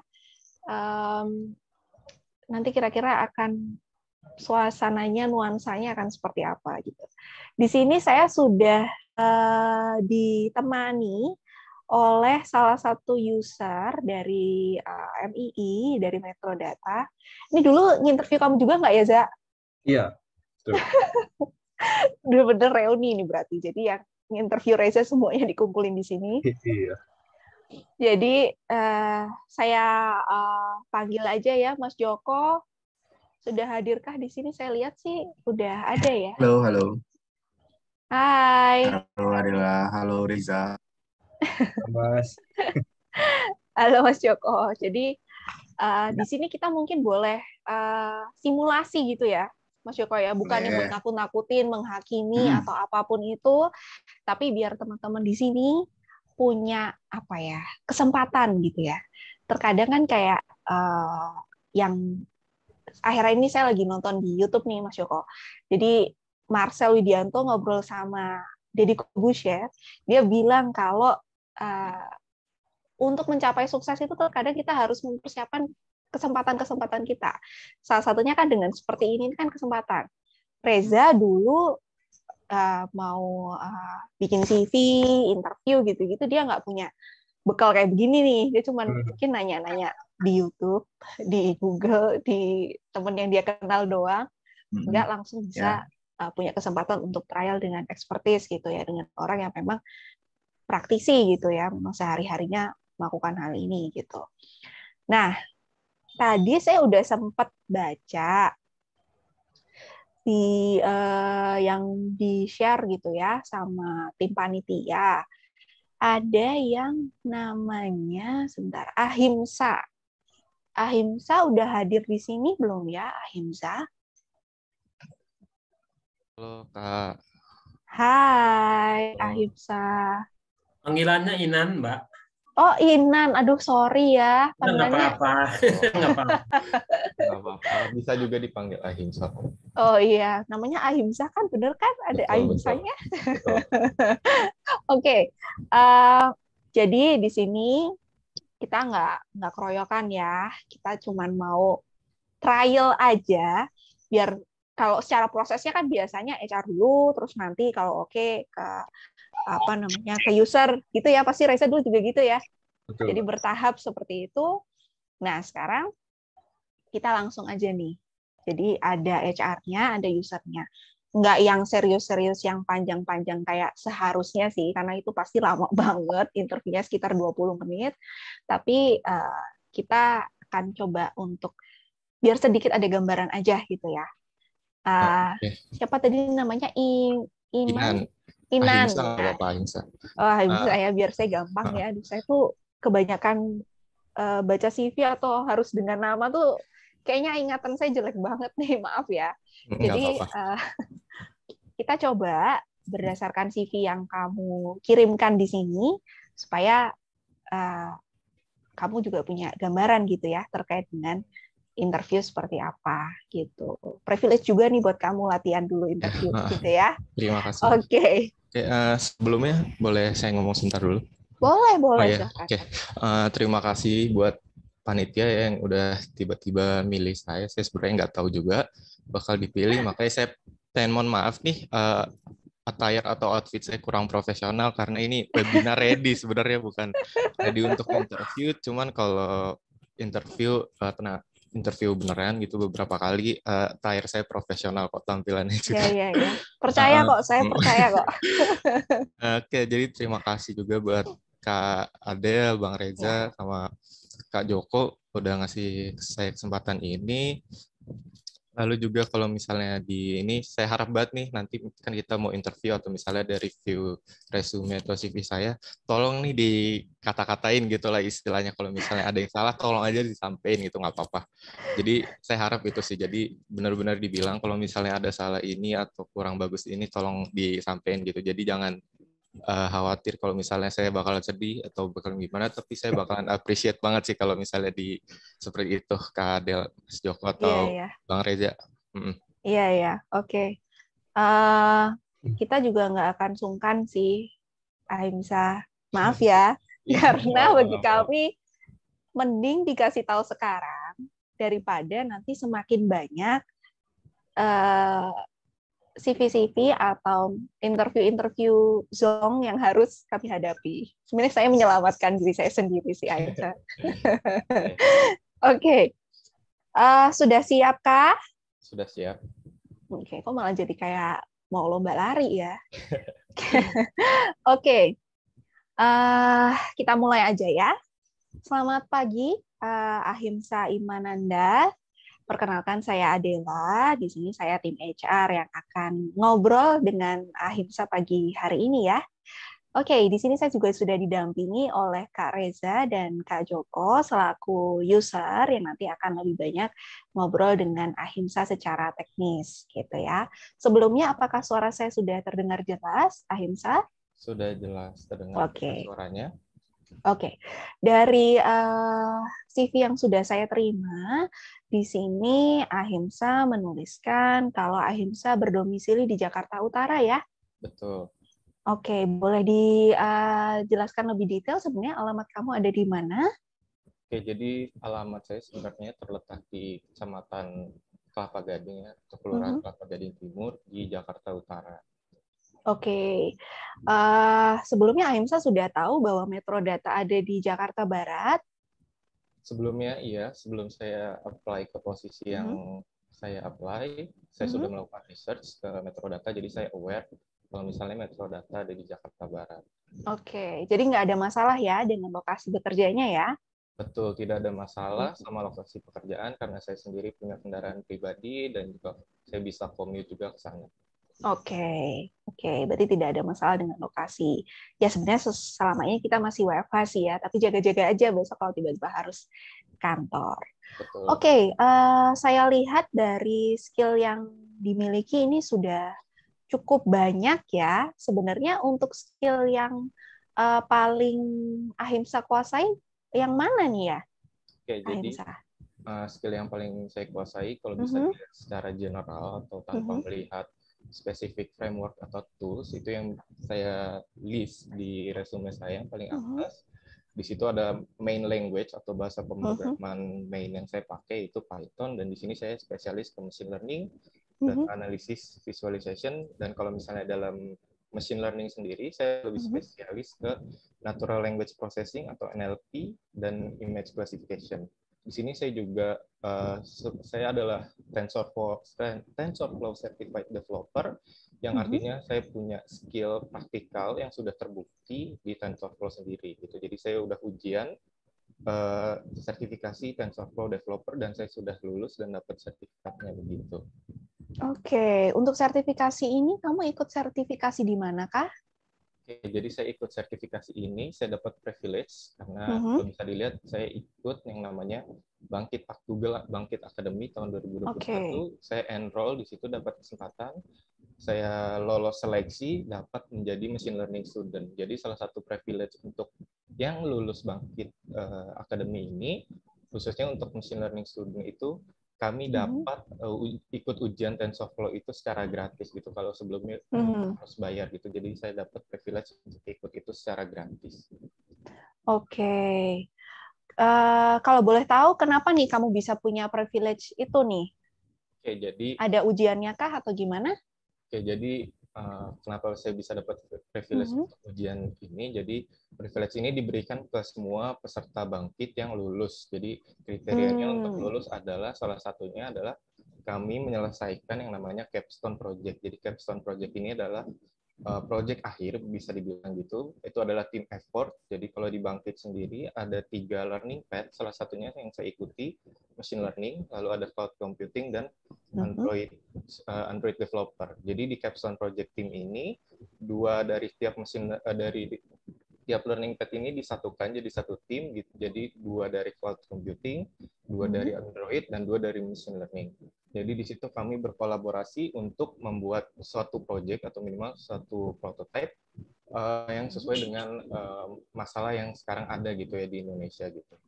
Jadi oh, di situ oh, okay. kami berkolaborasi dan harus menggunakan teknologi dari ketiga learning path gitu ya. Jadi selain kami uh, punya technical skill-nya di situ, kami juga harus berkolaborasi supaya project ini uh, berlangsung dengan lancar gitu dan kebetulan juga saya uh, dipilih atau dipercayakan sama tim saya untuk menjadi mm-hmm. tim representatif atau leader bisa dibilang di situ.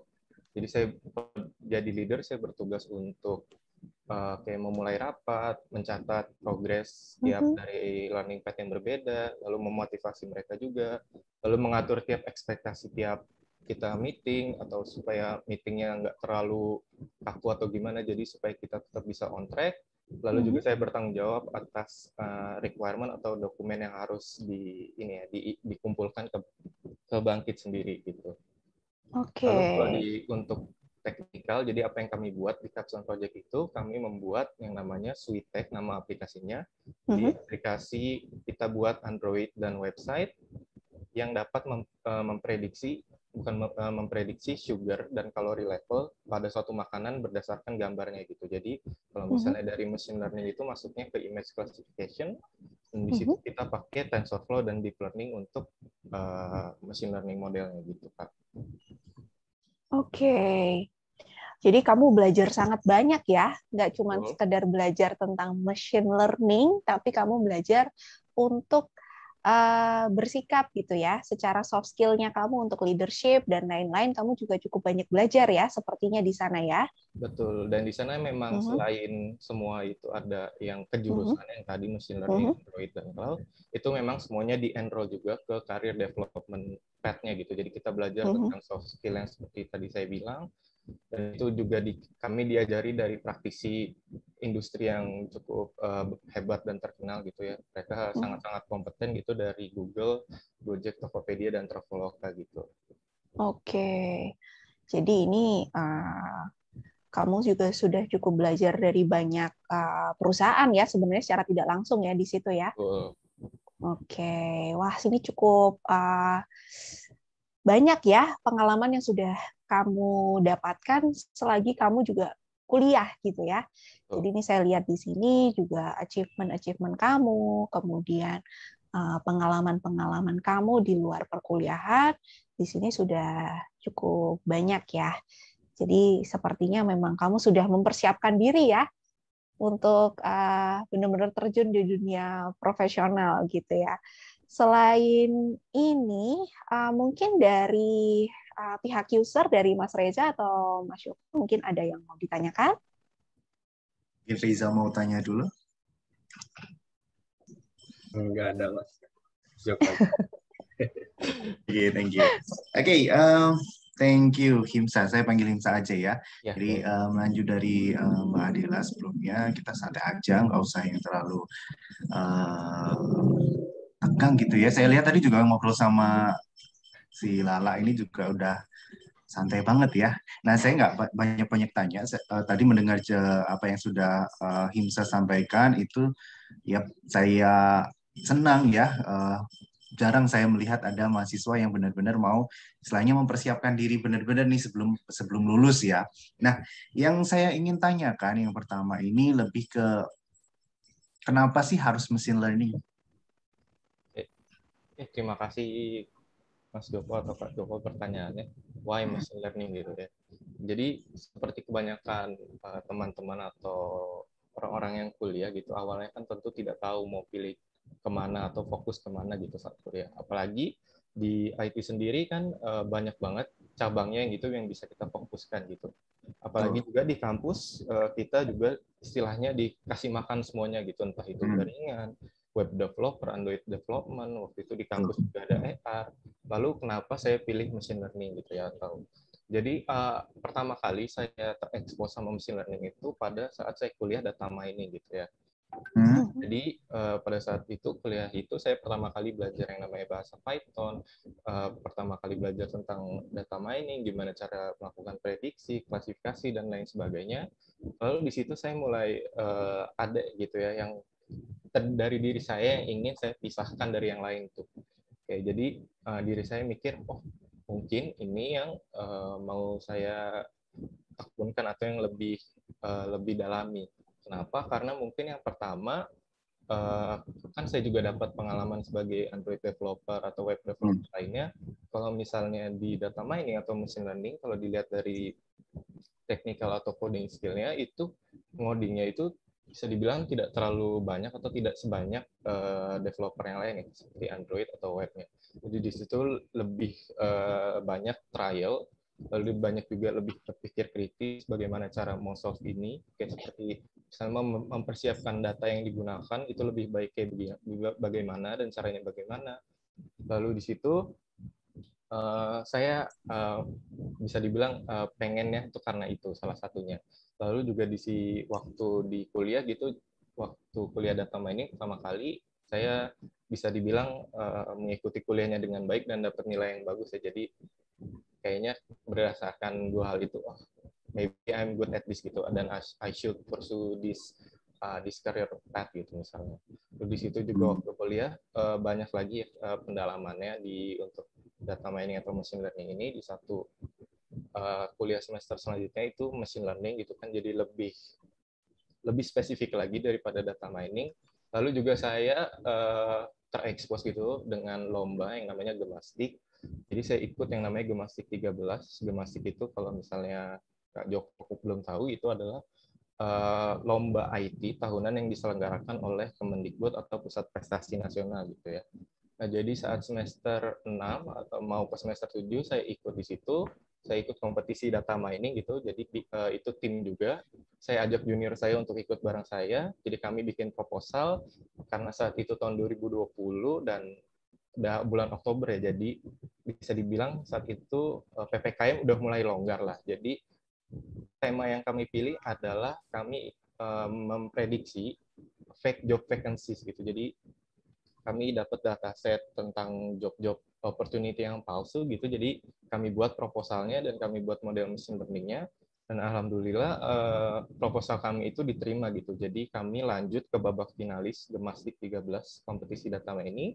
Jadi top 20 tim dari seluruh Indonesia dari 207 tim yang ikut kompetisi data mining kami lanjut ke babak finalnya yang di host di Telkom University tapi tetap online ya karena saat itu masih masih pandemi. Dan di babak final uh, sayang sekali kami hampir dapat predikat juara ya cuman kami dikabarkan kami dapat peringkat lima gitu. Jadi agak nyesek sedikit cuman uh, itu suatu pengalaman yang berharga buat saya dan junior-junior saya yang sudah saya bantu gitu ya untuk terekspos sama pengalaman ini. Lalu yang seperti sebelumnya tadi yang udah saya jelaskan itu saya dapat kesempatan juga untuk ikut bangkit gitu. Dapat uh, belajar lagi atau menekuni kembali di machine learning path gitu. Mungkin begitu Mas Oke, okay, thank you ya. Jadi memang jadi boleh saya simpulkan sedikit juga ya. Tadi ada bilang berarti sebenarnya uh, ya di machine learning itu nggak terlalu banyak coding dibanding kita as developer, gitu ya? Betul. Ah, Oke, okay. jadi itu bukan. Tapi apakah itu jadi satu alasan kenapa nggak jadi developer?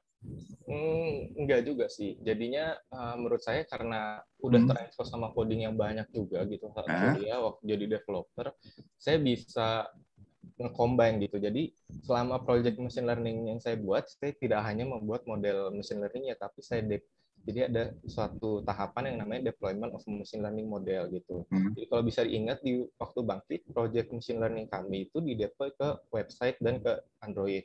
Jadi waktu gemastik juga karena saya udah kuliah gitu ya, web development saya bikin websitenya. Jadi user bisa pakai gitu ya model machine learning kami. Jadi kami nggak hanya uh, melampirkan oh mesin learning kami performnya begini begini begini kayak uh, step-step yang kami lakukan begini tapi langsung bisa dicoba jadinya bisa lihat oh seperti uh, seperti itu gitu cara bekerjanya model mesin learning yang kami buat gitu jadi menurut saya itu salah satu advantage juga sih yang karena saya waktu kuliah dikasih semua gitulah istilahnya gitu. Oke, okay.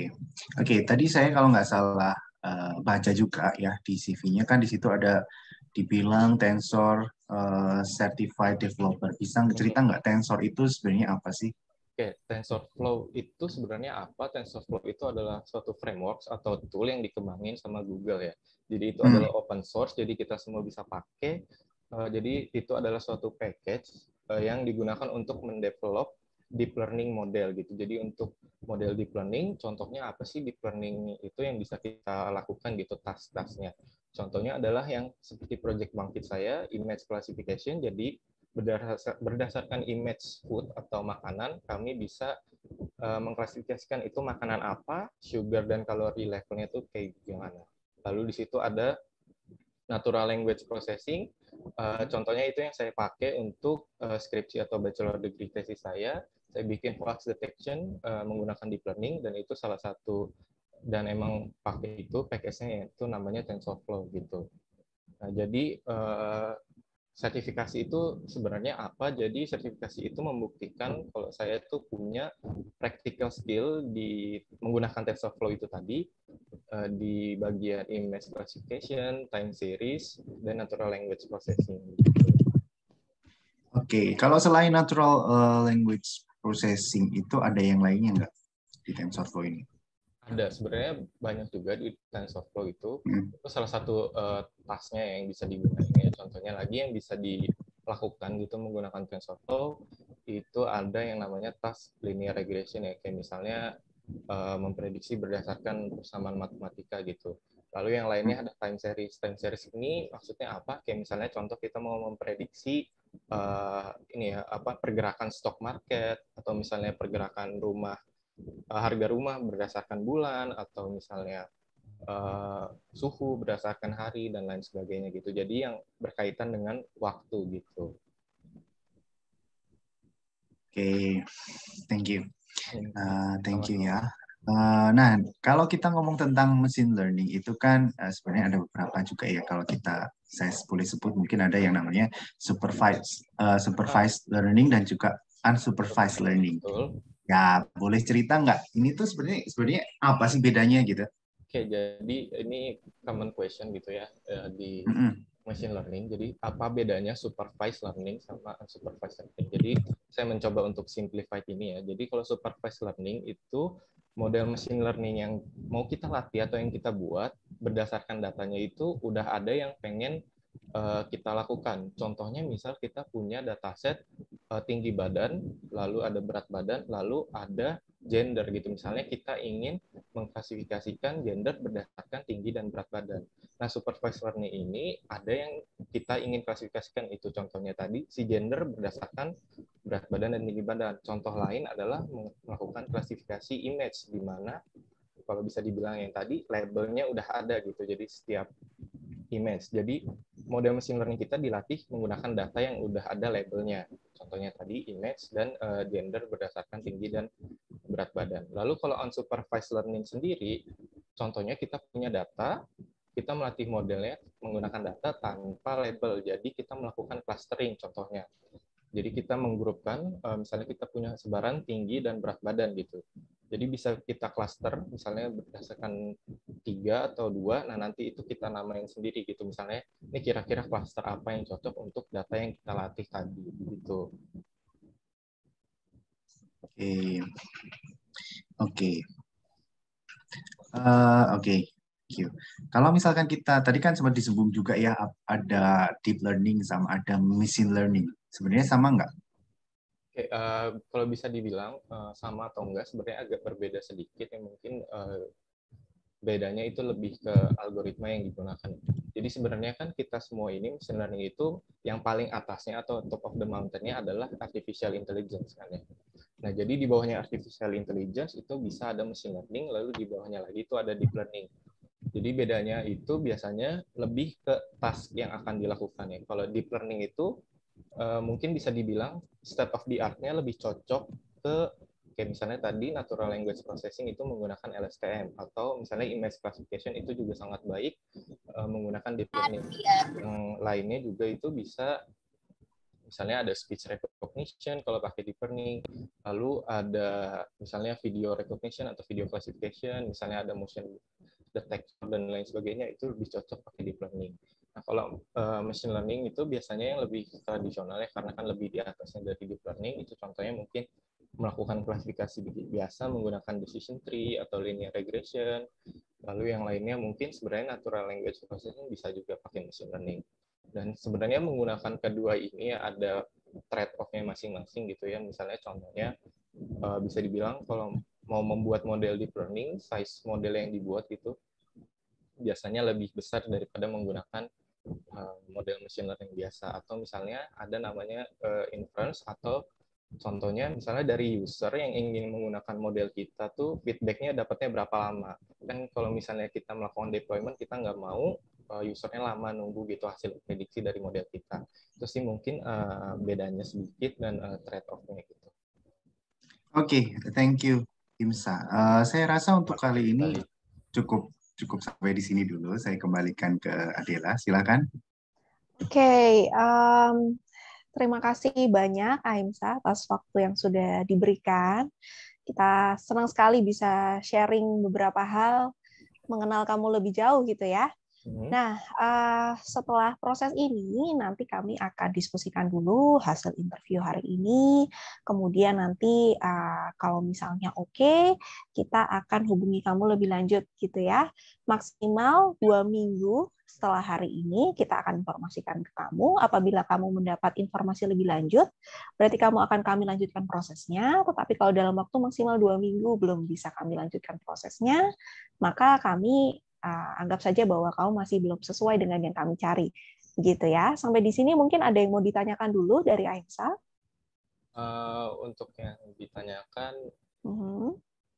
Uh, sepertinya belum ada kalau untuk ditanyakan, okay. tapi saya ingin berterima kasih kepada uh-huh. Kak Adela, Kak Joko, dan Bang Reza udah memberikan kesempatan saya untuk melakukan interview hari ini. Saya sangat enjoy sekali bisa men-share pengalaman yang saya alami selama kuliah atau work experience dan lain sebagainya, dan enjoy juga bisa uh, menjelaskan yang tadi yang ditanyakan dan bisa sharing sedikit tentang machine learning, deep learning, dan tentunya tentang diri saya pribadi eh, jadi begitu aja mungkin kalau dari saya dan saya harap uh, bisa proceed gitu ke tahap selanjutnya karena menurut saya kualifikasi dan requirement yang dibutuhkan sama metro data ini sesuai dengan diri saya gitu. Terima kasih. Oke, oke terima kasih kalau begitu. Selamat siang. Oke, selamat siang. Ya. Oke, gimana? Tegang nggak? Aiza? Uh, tegang sih sepertinya tidak terlalu ya karena saya uh -huh. sering ngomong juga gitu kan. Jadinya mungkin uh -huh. tidak terlalu tegang, cuman mungkin kalau kendala sih kadang-kadang kalau saya ngomong emang dari dulu juga begini sih. Kadang saya suka tersedak sendiri gitu, jadi nggak berhenti gitu kalau kalau ngomong gitu Oke, okay. so far masih jelas kok. Ini Reza senyum-senyum kayak berasa jafu ya berasa yeah. kamu ngerasain pertama kali interview ya. Betul, Pak. Jadi dari tadi senyum-senyum. Kondisinya kan waktu itu uh, offline ya, Mak. Aku datang gitu langsung. Iya, iya, iya.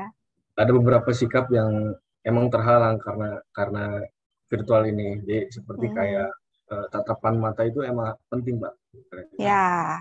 Untuk uh, offline ya. Jadi kan hmm. kita bisa langsung tatap muka, langsung hmm ada istilahnya itu kan ada mata itu berbicara gitu.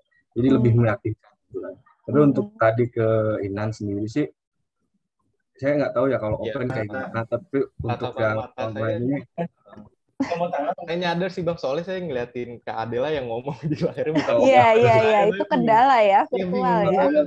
saya ngeliat mata Kak Adela beneran atau mata Mas Joko beneran di layar saya gitu. Jadi ya mungkin virtual juga ada beberapa kendala Iya, iya, iya. Itu sebenarnya uh, apa ya skill baru yang harus di uh, apa dikembangkan gitu ya. Saya dulu juga awalnya ketika mulai uh, virtual juga kadang suka lupa kok kalau harus lihat ke titik kameranya aja deh saya bodoh amat sama yang uh, ada di layar gitu ya. Karena sebenarnya kalau kita lihat layar jadinya kayak nggak nggak ada eye contact gitu ya hmm, Reza ya rasanya kayak hmm. matanya kayak ke mana-mana gitu ya padahal sebenarnya dia berusaha untuk melihat uh, interviewernya gitu ya. Nah ini mungkin jadi catatan juga kali ya untuk ke depannya untuk teman-teman yang mungkin sudah lulus saat ini dan situasinya ya mau nggak mau kebanyakan juga masih virtual ya. Kita sama-sama takut lah ya, bukannya apa-apa ya, tapi demi kenyamanan dan keamanan bersama. Jadi biasanya kita virtual. Nah itu uh, untuk belajar juga gitu ya. Kalau dulu sih saya belajarnya adalah saya sering ngomong di laptop buka kamera. Jadi saya kayak ngomong sendiri gitu Mas Joko. Jadi kayak kayak orang gila gitu ya. Tapi saya sangat menyadari bahwa saya pasti ke distrak untuk lihat layar gitu. Karena saya kan kayak lebih nyaman ya kalau kita lihat langsung orang lain yang berbicara sama kita gitu. Padahal sebenarnya jadinya kita yang melihat di sisi lain nih kesannya kok kayak matanya ke mana-mana gitu. Oke. Okay. Betul. Betul. Memang harus di, dibiasakan ngomong di depan kameranya ya. Kamera kan kalau laptop kecil ya, jadi nggak begitu ini. Tapi memang eh, hal-hal uh, seperti itu tuh mm -hmm. sering miss ya dari kita. Bahkan saya ya, pun ya. juga sampai saat ini masih sering miss. Oh, oh iya kalau di sini online saya harus menetapnya kamera kecil di situ. Gitu. Benar, benar, benar. Iya, jadi itu sebenarnya permasalahan kita bersama sih. Jadi ya kita sama-sama belajar aja. Oke, sebelumnya Ahimsa boleh nggak saya share uh, CV kamu nih biar yang lain juga belajar dari boleh, CV boleh, kamu. silakan. Uh, saya mengharapkan banget uh, atau kata-kataan juga ya. Aduh, aduh. Ada. boleh ya. Bang atau uh, dari sesama peer atau teman-teman yang lain juga silakan mm -hmm. kalau mau ngata-ngatain. Jangan ngata-ngatain lah. Ini kan kita belajar bersama ya. Kita ngomongnya baik-baik loh. Oke, oke. Okay. Uh, kita lihat overall sebenarnya CV kamu udah oke okay sih. Kamu udah berusaha untuk menyampaikan, memperkenalkan diri kamu dengan sebaik mungkin. Tapi mungkin saya secara HR yang akan selalu lihat CV boleh kasih uh, masukan ya, boleh saya. Oke. Okay. Um, ini udah bagus kamu sebutkan nama kamu jelas di atas saya bisa baca dengan jelas. Kemudian kamu itu um, apa namanya punya passion di mana itu juga sudah jelas tertulis di sini. Karena terkadang saya mendapatkan uh, CV atau surat lamaran tulisannya saya mendengar ada lowongan di perusahaan bapak atau ibu dan saya berminat untuk mendaftar kayak gitu ya lowongan yang mana. Kan nggak semua perusahaan cuma satu atau dua paling nggak dengan mengkomunikasikan passion di sini. Dan nanti ditambahkan juga ya kalau misalnya kamu kirim uh, CV itu kan di badan email kamu pasti akan tuliskan sedikit kan ya. Nah itu tuliskan lowongan apa yang kamu akan kamu lamar. Kemudian tidak menuliskan tanggal lahir tapi dengan di sini ada usia uh, itu udah oke okay, nggak masalah. Yang jelas ini update ya hmm. dengan usia kamu saat ini. Kadang kan ada beberapa tahun kemudian terus masih pakai CV yang sama usianya belum diganti, misalnya kayak gitu. Untuk penjelasan diri secara singkat sudah oke. Okay. Sebenarnya nggak harus di uh, apa bold bold ini juga nggak apa-apa sih sebenarnya. Jadi kita sebenarnya juga sudah cukup bisa baca karena ini nggak terlalu panjang ya narasinya kayak gitu. Kemudian ini semua data sudah oke. Okay. Kemudian untuk um, web ini apakah memang sudah ada atau masih belum selesai? Belum sih, memang belum selesai. Oke, okay. kalau masih belum selesai nggak usah dituliskan ya. Jadi biar kita nggak nyari gitu ya, karena kan ini pasti uh, sesuatu yang bisa kita cari gitu ya. Jadi kalau ini memang masih belum ada, tidak usah dituliskan, nanti silahkan ditambahkan kalau memang sudah selesai di develop gitu ya. Untuk foto, aduh gimana ya saya ngomongnya. Foto mungkin bisa agak mundur sedikit ya saya ya, agak itu. kaget loh waktu hmm. pertama kali buka. Mungkin bisa agak mundur sedikit dan uh, eye contact ya. Jadi pastikan foto kamu itu menatap ke uh, kamera. Kemudian itu kamu seperti menggunakan headset ya. Betul. Nah, uh, uh, diusahakan jangan sedang kayak menggunakan headset. Itu kesannya kayak kamu lagi uh, foto sambil video call sama pacar kamu gitu ya. Jadi mungkin boleh uh, lebih mundur, kemudian uh, ini kan kalau lebih mundur pastinya kan bahu kamu juga akan lebih proporsional ya kelihatannya. Kemudian um, mata menatap ke kamera. Uh, kalau tidak perlu ada tools, tidak perlu gitu. Kalau misalnya juga tidak perlu pakai kacamata nggak apa-apa, nggak usah pakai kacamata. Tapi yang lainnya overall oke okay sih. Pakaian kamu rapi, rambut kamu juga rapi gitu ya. Jadi paling itu aja sih nggak harus yang formal yang uh, buat foto ijazah ya. Nggak harus yang background merah gitu juga enggak sih. Tapi uh, bisa lebih di ini ya.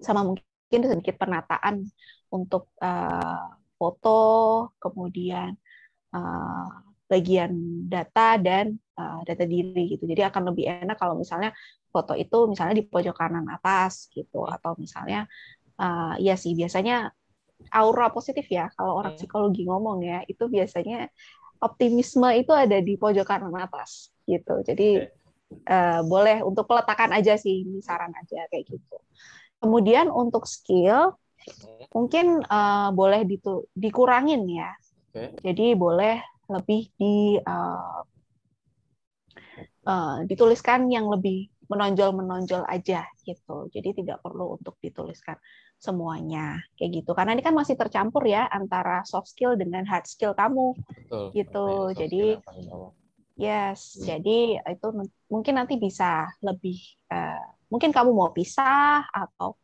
kamu mau uh, tuliskan hard skill kamu aja that's okay gitu karena menurut aku di atas di sini kamu udah tuliskan ini menurutku kayak adaptability, resilience, spirit, communication, teamwork, seperti hal-hal seperti itu sebenarnya juga sudah menunjukkan uh, soft skill kamu gitu ya.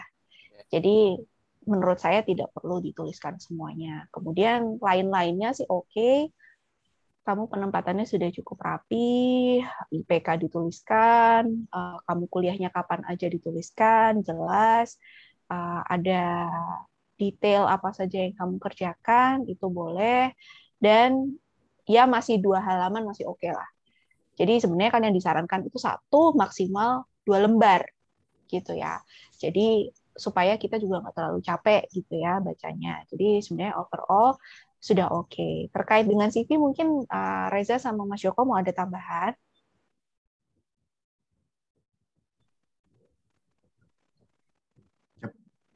Cukup ya? Uh, Atau gimana? Sih, cukup cukup sih. Saya lihat ini skillnya ya, terutama ya skillnya itu hmm. terlalu banyak.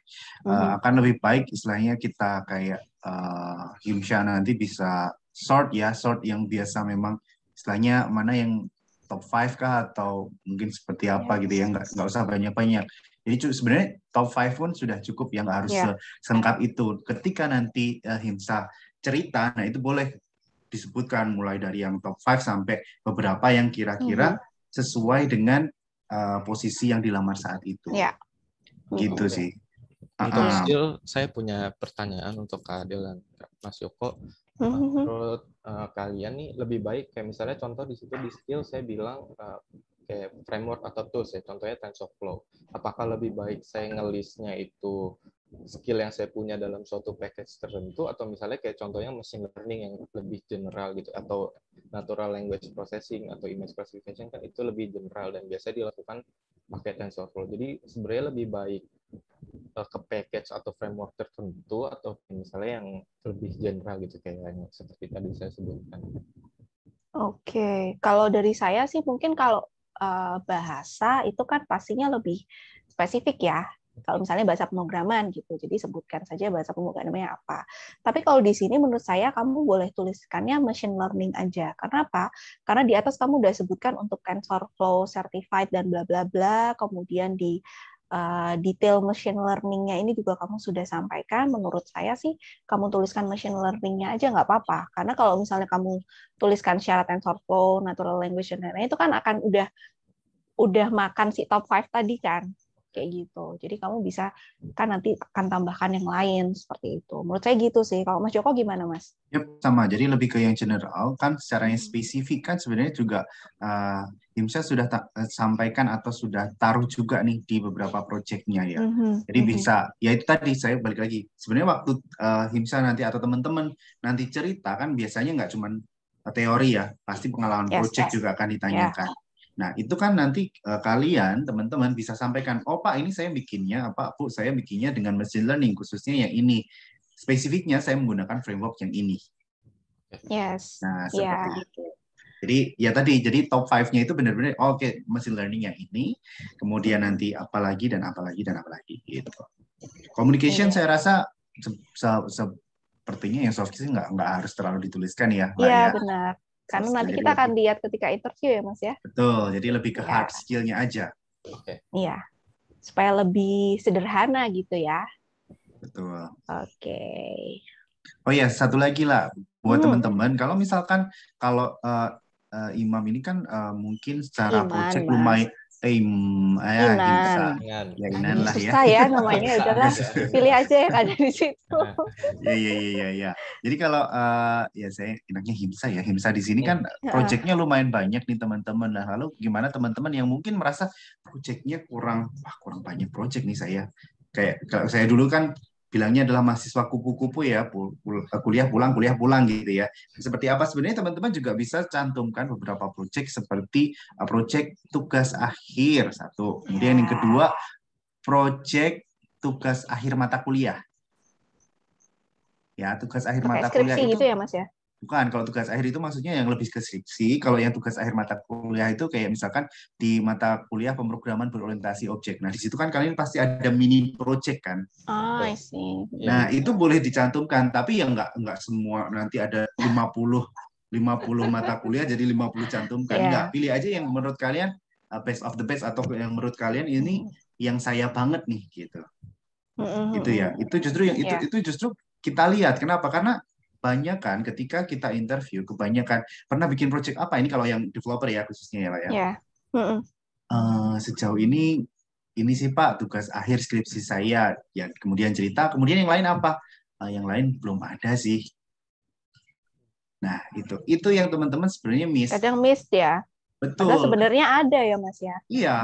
Jadi teman-teman hal-hal seperti itu tuh jangan dianggap ah itu bukan project. Itu project yang kalian buat. Benar itu project meskipun Mhm. eh, bisa kalian kerjakan satu bulan bisa kalian kerjakan kalau saya ngomong gilanya SKS ya sistem kebut sejam.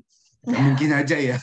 Nggak semalam tapi sejam gitu ya. Sejam itu banget mungkin. Mas. Eh, kan kadang gitu ya lah ya kan mahasiswa aktif kan kadang kadang saking aktifnya nih kadang nggak Yes. bisa mengorganisasi atau mengatur waktunya jadi kadang aduh saya masih panitia ini harus nyelesain ini tugasnya masih ini nah ya jadi teman-teman hal-hal seperti itu bisa disampaikan tadi memang Iya. eh, waktu saya coba interview kan saya belum masuk ke yang lebih teknis ya takutnya Iya. kalau saya ngobrol tadi kan ngobrolnya enak nih sama Himsa takutnya nanti kita acara punya sampai jam setengah 12 saya ngobrol sama Himsa sampai jam 12 kan nggak ini juga ya gitu Yang lain pusing ya Mas ya. dengerinnya. ya betul Ya, ya, oke. Jadi eh, untuk teman-teman juga semuanya yang ada di sini, kalau saya nih saya memposisikan diri ketika saya masih jadi eh, mahasiswa gitu, masih mahasiswa akhir, fresh graduate gitu ya. Tadi saya ngelihat tim eh, interview ini sih agak jiper ya Mas ya, karena kebetulan saya ini nggak seaktif itu dulu waktu kuliah ya. Saya tuh lebih senang ikut senat, ikut apalah gitu ya. Jadi nggak yang dan psikologi kan memang nggak banyak project ya mas kita banyaknya praktikum gitu waktu itu betul, betul.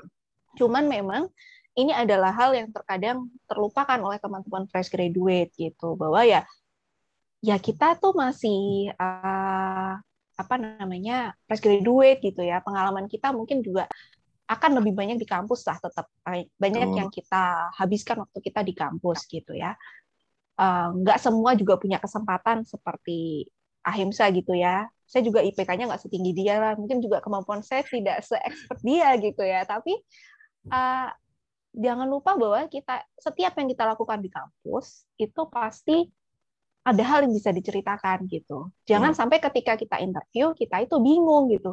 Duh, saya nggak pernah ngapa-ngapain kesannya gitu. Padahal ya kuliah ke mana aja, kuliah ngapain aja, pasti ada project lah, ya pasti ada sesuatu yang kamu kerjakan gitu. Jadi persiapkan diri kamu untuk menceritakan dalam tanda kutip hal menarik yang juga pastinya kamu kuasai dengan sungguh-sungguh gitu ya, yang pastinya juga di dalam prosesnya kamu utuh ya jangan ceritain project yang ya udahlah buat tugas akhir tapi projectnya pun nggak selesai gitu ya. Kita juga Ya. males ya dengernya oh, ah, maaf ternyata belum selesai atau waktu dibagi uh, saya ikut project ini gitu. Oh iya terus pembagian tugasnya seperti apa? Iya di dalam tim pembagiannya seperti ini. Oh saya bagian fotokopi kumpulin ke dosen. Ah terus saya paling males tuh kalau udah kayak gitu akhirnya ujung-ujungnya. Jadi uh, ceritakan project-project kamu yang memang bisa menunjukkan kemampuan kamu gitu ya mas ya. Jadi nggak harus betul. yang uh, spektakuler nggak harus tiba-tiba kamu dikirim ke Jepang misalnya kayak gitu nggak juga. Tapi mini-mini project yang kamu kerjakan dengan sungguh-sungguh dan kamu bisa menceritakan intinya kan sama sebenarnya seperti Ayah bisa tadi dia bisa menceritakan alurnya prosesnya gimana yang dialami apa alur berpikirnya seperti apa itu sebenarnya sudah cukup karena bagaimanapun juga kalau fresh graduate itu kan banyak jual janji manis ya Mas Joko ya belum banyak buktinya lah gitu jadi ya silahkan ceritakan hal itu dengan sebaik mungkin gitu seperti yang tadi juga disampaikan oleh Ahimsa menurut saya dia mampu menceritakan eh, sesuatu secara runut Betul. gitu. Jadi dia mampu untuk tadi sudah baik, Aimsa akan dipertahankan, kamu bisa eh, menceritakan apa yang kamu alami dengan baik. Jadi paling nggak kita sebagai yang mendengarkan itu benar-benar punya keyakinan bahwa ya itu emang benar kamu kerjain, ya itu benar Yes. kamu eh, lalui gitu. Jadi nggak cuman eh, pengalaman teman yang kamu masukin ke situ gitu ya, tapi itu benar-benar kamu alami.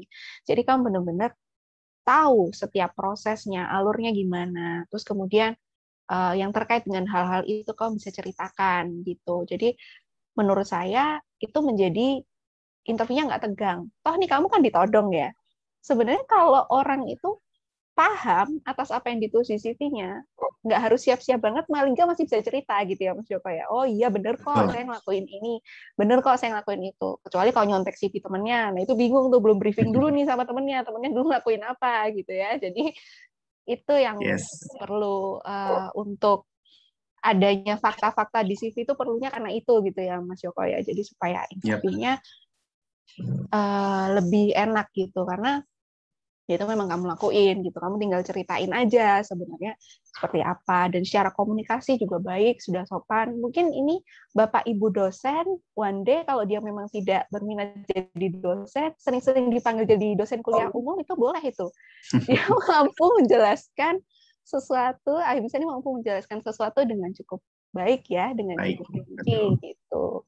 Jadi um, kalau misalnya jadi trainer atau jadi orang yang uh, apa ya uh, memberikan apa ya, informasi kepada orang banyak sepertinya cukup cocok nih Aim misalnya gitu jadi overall sebenarnya uh, sudah oke okay. posisi juga kamu duduk uh, oke okay, cuman paling tadi ya matanya hilang-hilangan sama bahasa baik uh, lain-lain udah baik, mungkin tadi beberapa catatan untuk CV gitu ya. Teman-teman di rumah juga boleh sambil diintip ya CV-nya masing-masing. Kira-kira uh, dari tadi yang sudah kami sampaikan, apa nih yang masih perlu diperbaiki, mumpung masih ada waktu dan teman-teman punya kesempatan. Gitu. Ayo, misal mungkin ada yang mau disampaikan atau mau ditanyakan lagi? Ada sih, kalau untuk pertanyaan, uh, untuk lebih ke keadaan mungkin ya. Tapi mm-hmm. yang kalau misalnya yang lain juga mau memberi insight atau berdasarkan ini masing-masing itu juga appreciated banget.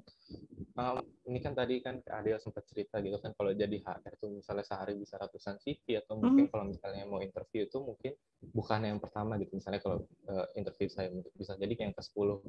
Nah, kadang-kadang yeah. saya suka worry gitu kalau misalnya saya interview sama HR gitu, mm-hmm. saya apa ya maksudnya seberapa banyak sih? Atau misalnya jangan sampai sama sekali kah technical jargon gitu? Maksudnya technical jargon ini kayak tadi gitu misalnya framework ini itu kan nggak semua orang mm-hmm. tahu gitu. Walaupun walaupun misalnya bisa sesama bidang IT gitu yang bidang IT aja mungkin belum tahu gitu. Yeah. apalagi HR gitu mungkin yang lebih spesifik ke psikologi. Dan itu uh, satu sih. Dan makanya saya nggak mau atau agak worry gitu atau takut karena saya kebanyakan technical jargon malah jadi ngeblank gitu jadi HR jadi pusing atau jadi yang sebelumnya itu jadi gagal ngikutin gitu tuh mungkin baiknya sedikit aja technical jargon atau misalnya nggak sama sekali gitu kalau misalnya interview sama HR atau bukan sama user gitu mungkin kak. Oke, okay. uh, eh, sebelumnya makasih ya udah mikirin saya. Berarti kamu mikirin saya mudeng apa enggak, ngerti apa enggak gitu ya. Jadi uh, apa namanya kalau di apa namanya di saya sebenarnya sih kalau saya tanya jawab aja gitu nggak apa-apa. Saya juga sama-sama belajar kok gitu. Karena saya menjadi HR di dunia IT kan juga paling nggak dikit-dikit perlu tahu kan. Jadi nggak nggak masalah. Kalau saya tanya silahkan dijelaskan. Cuman mungkin benar adanya kalau disampaikan dengan bahasa yang lebih sederhana gitu. Ada beberapa uh, istilah atau jargon gitu nggak masalah sih. Tapi ya jangan jargon semua gitu. Saya bengong juga gitu ya. Tapi uh, overall tadi dari yang saya uh, dengarkan sih saya masih bisa nangkap sih alurnya seperti apa meskipun saya nggak belajar itu gitu. Jadi ya itu mungkin juga buat note ya buat teman-teman. Tapi karena mungkin tadi kita interviewnya sekalian dengan user jadi ada jargon-jargon nggak masalah sih, karena usernya paling nggak kan paham ya gitu. Tapi biasanya sih kalau saya SHR uh, eh, ngobrol saya paling lebih kayak nanyain terkait yang ada tertulis di CV sama sedikit uh, ngobrol terkait dengan project gitu ya Reza ya dulu ya. Tapi kalau secara detailnya kamu pakai uh, apa namanya uh, uh, database-nya apa, terus ini caranya gimana, terus ini nggak detail-detail amat sih ya Reza ya. Betul. Hmm. kalau nama uh, HR sedikit menambahkan uh, lebih ke kayak soft skill sih kayak uh, hmm. pengalaman organisasi gitu. Jadi kamu tuh ngapain aja di organisasi, jobnya apa aja, pernah mimpin uh, program kerja apa atau gimana gitu. Nah untuk teknisnya nanti kita dialihkan ke user. Waktu itu aku sama Mas Joko itu. Itu lebih mendalam sih waktu itu. Hmm. Oke, okay. kalau mimpin tuh jangan bayangin harus jadi ketua BEM gitu ya. Enggak juga sih teman-teman. Kamu jadi ketua di, misalnya mengkoordinasi sebuah kelompok belajar. Itu kan juga mengkoordinasi ya, itu sebuah pengalaman leadership juga. Jadi jangan malu untuk diceritakan juga. Itu uh, part of your journey juga. Enggak semua orang journey-nya sama kan, kayak gitu. Tapi paling enggak berusaha untuk menceritakan atau membawa diri dengan uh, sebaik mungkin gitu ya. Perkenalkan diri kamu dengan sebaik mungkin. Jangan sampai kamu terus gugup, terus nggak siap. Jadinya uh, malah kamu yang baik ini nggak bisa diperkenalkan dengan baik gitu. Uh, mohon maaf, Kak Intan, permisi. Waktu iya. untuk sharing materinya sisa dua menit lagi, Kak. Oke, boleh langsung tanya jawab aja kok ya. Ya Mas Joko ya cukup ya. Boleh ya langsung tanya jawab. Boleh. Thank you ya Ahimza ya, udah mau ditodong. Ya, thank you juga udah kasih saya kesempatan. Saya enjoy banget bisa latihan lagi. Uh, terima kasih Kak Adel, Mas Joko dan Ya, thank you ya. Sukses ya buat ya. kamu. Terima kasih. Thank you Imsa, sukses. terima kasih. Baik, eh, terima kasih kepada para narasumber, para pembicara, Kak Adela, Kak Reza, Kak Joko, dan Kak Imsa. Bagus banget nih materinya sumpah yang dua kali ini hebat-hebat banget. Boleh dong emotnya nih, emot applause nih, boleh dong buat para peserta emot applause. Hebat, hebat, keren, keren. Uh, untuk acara selanjutnya ada sisi tanya jawab. Yang ingin bertanya silakan menyalakan mic dan kamera atau tulis kolom chat. Dan jangan lupa untuk empat pertanyaan terbaik dan paling menarik akan di, akan mendapatkan door prize yang akan dihubungi oleh panitia nanti. Silakan yang ingin bertanya. Halo, Aku mau nanya kaget. dong. Halo, boleh. Siapakah ya, okay. ini? Oke, perkenalkan nama aku eh, nama saya Cetesya Yunan. Saya mahasiswa mhm. Fakultas Teknologi Informasi angkatan 2018. Uh, jadi terima kasih sebelumnya atas sharingnya Kak Adela, uh, Pak Joko dan Bang Reza. Uh, jadi saya mau tanya sedikit tentang uh, gini Kak kan uh, beberapa bulan belakangan ini saya lumayan karena udah semester akhir ya jadi lumayan suka nyari informasi tentang rekrutmen di berbagai media sosial terus habis hmm. itu uh, akhir-akhir ini tuh beberapa influencer uh, mm-hmm. saya influencer di bidang uh, rekrutmen itu ada yang memperkenalkan atau saya dengar-dengar ada yang namanya ATS atau Applicant Tracking System tuh kak boleh dijabarin sedikit nggak uh, tentang itu kalau misalnya emang dipakai gitu ya kak di dunia rekrutmen dan uh, apakah CV kita sebagai pelamar itu harus sesuai dengan format ATS itu atau sebenarnya lebih fleksibel juga nggak apa-apa gitu kak? Oke. Okay. Uh, eh, ATS ini kayak yang aplikasi itu ya yang bisa bantu untuk uh, apa namanya sortir itu ya? Iya, yang buat screening hmm. gitu kak. Ya, jadi sebenarnya kalau eh thank you dulu ya sebelumnya untuk pertanyaannya. Jadi kalau ATS ini sebenarnya kita gunakan secara sederhana ya Mas Joko ya. Jadi Reza kalau belum tahu sekarang kita punya sistem loh. Keren nggak tuh? Sekarang kita punya sistem. Sekarang kita punya sistemnya dikembangkan gitu. Jadi kita akan bantu untuk um, sortir secara administratif gitu.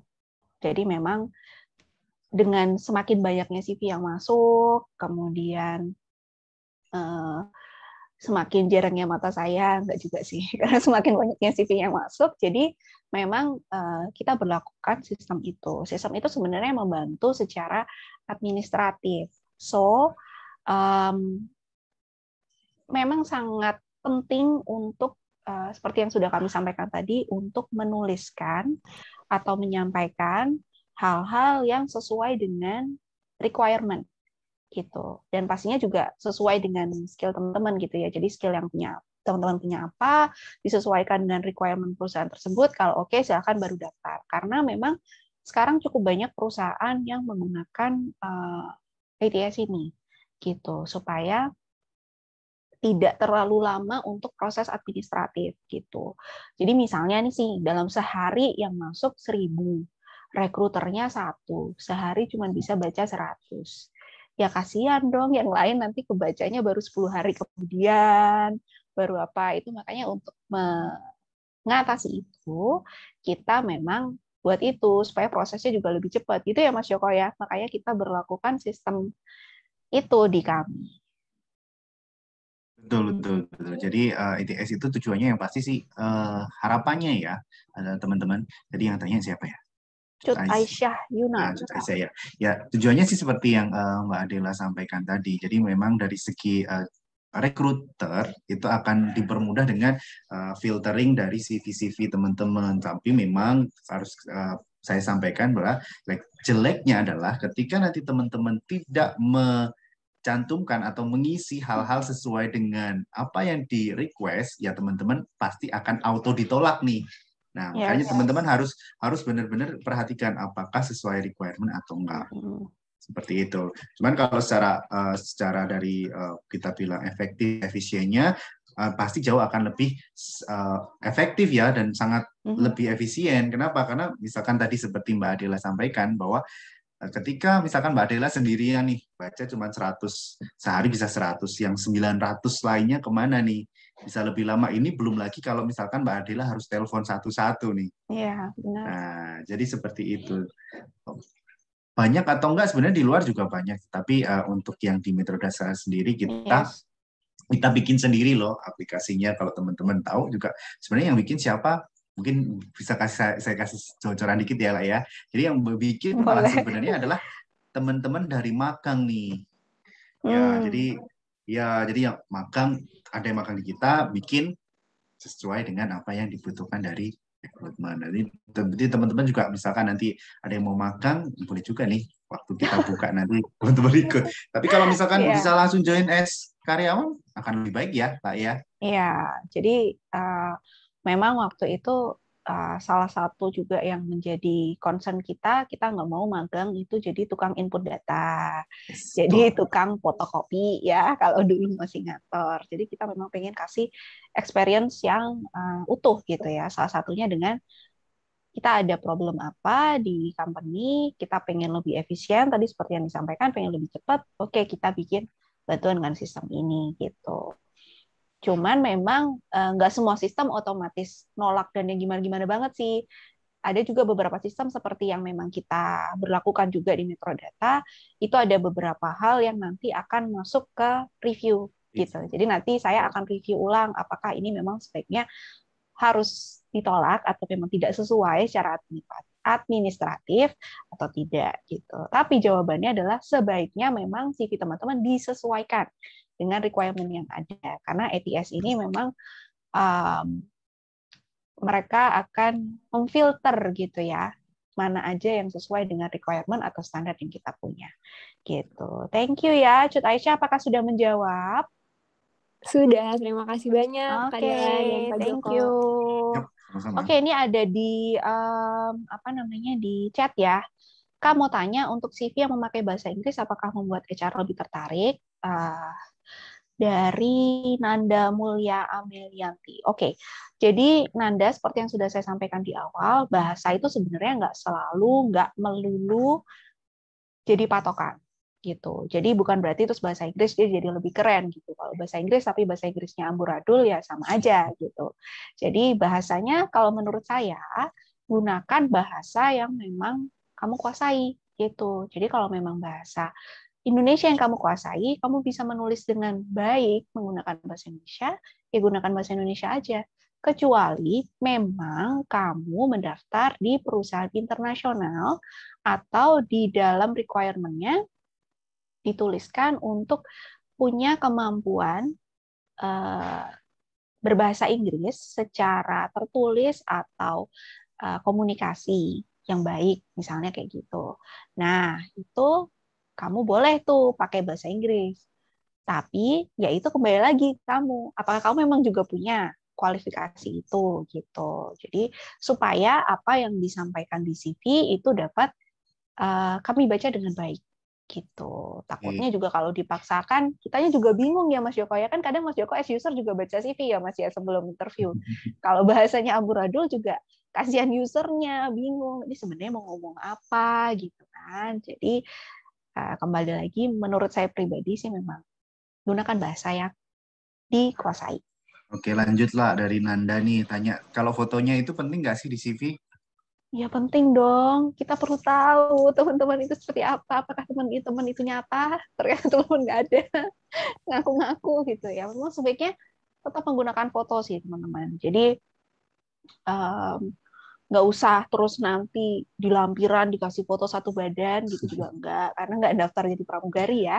Jadi di CV aja kasih foto yang kecil tapi jelas ya tetap jelas. Jangan terus kecil juga terus backgroundnya laut orangnya kecil banget di belakang dengan uh, pohon-pohon gitu ya nggak kelihatan juga.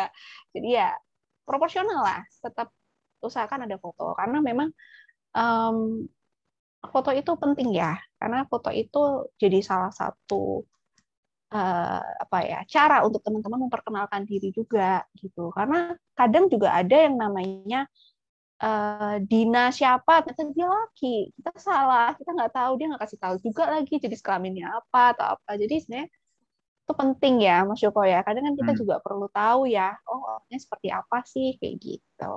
Harus formal nggak tuh lah formal banget sih enggak ya Mas Yoko. Nggak harus yang foto ijazah telinga harus terlihat background merah gitu enggak juga sih. Tapi uh, tetap tampak profesional gitu ya. Seperti tadi yang saya kayak, hmm? contohnya ini ya di poster ini ya itu gambar fotonya Adela fotonya uh, Riza itu kan enggak nggak apa ya yes. nggak formal tapi masih kelihatan terlihat profesional gitu ya. Ya jadi nggak harus yang um, apa ya nggak harus yang benar-benar pas foto gitu sih enggak sih. Yang jelas tetap wajah teman-teman terlihat jelas kemudian uh, posenya profesional lah nggak nggak lagi begini nggak lagi begini gitu ya. Jadi ya masih masih inilah masih tampak uh, profesional gitu ya.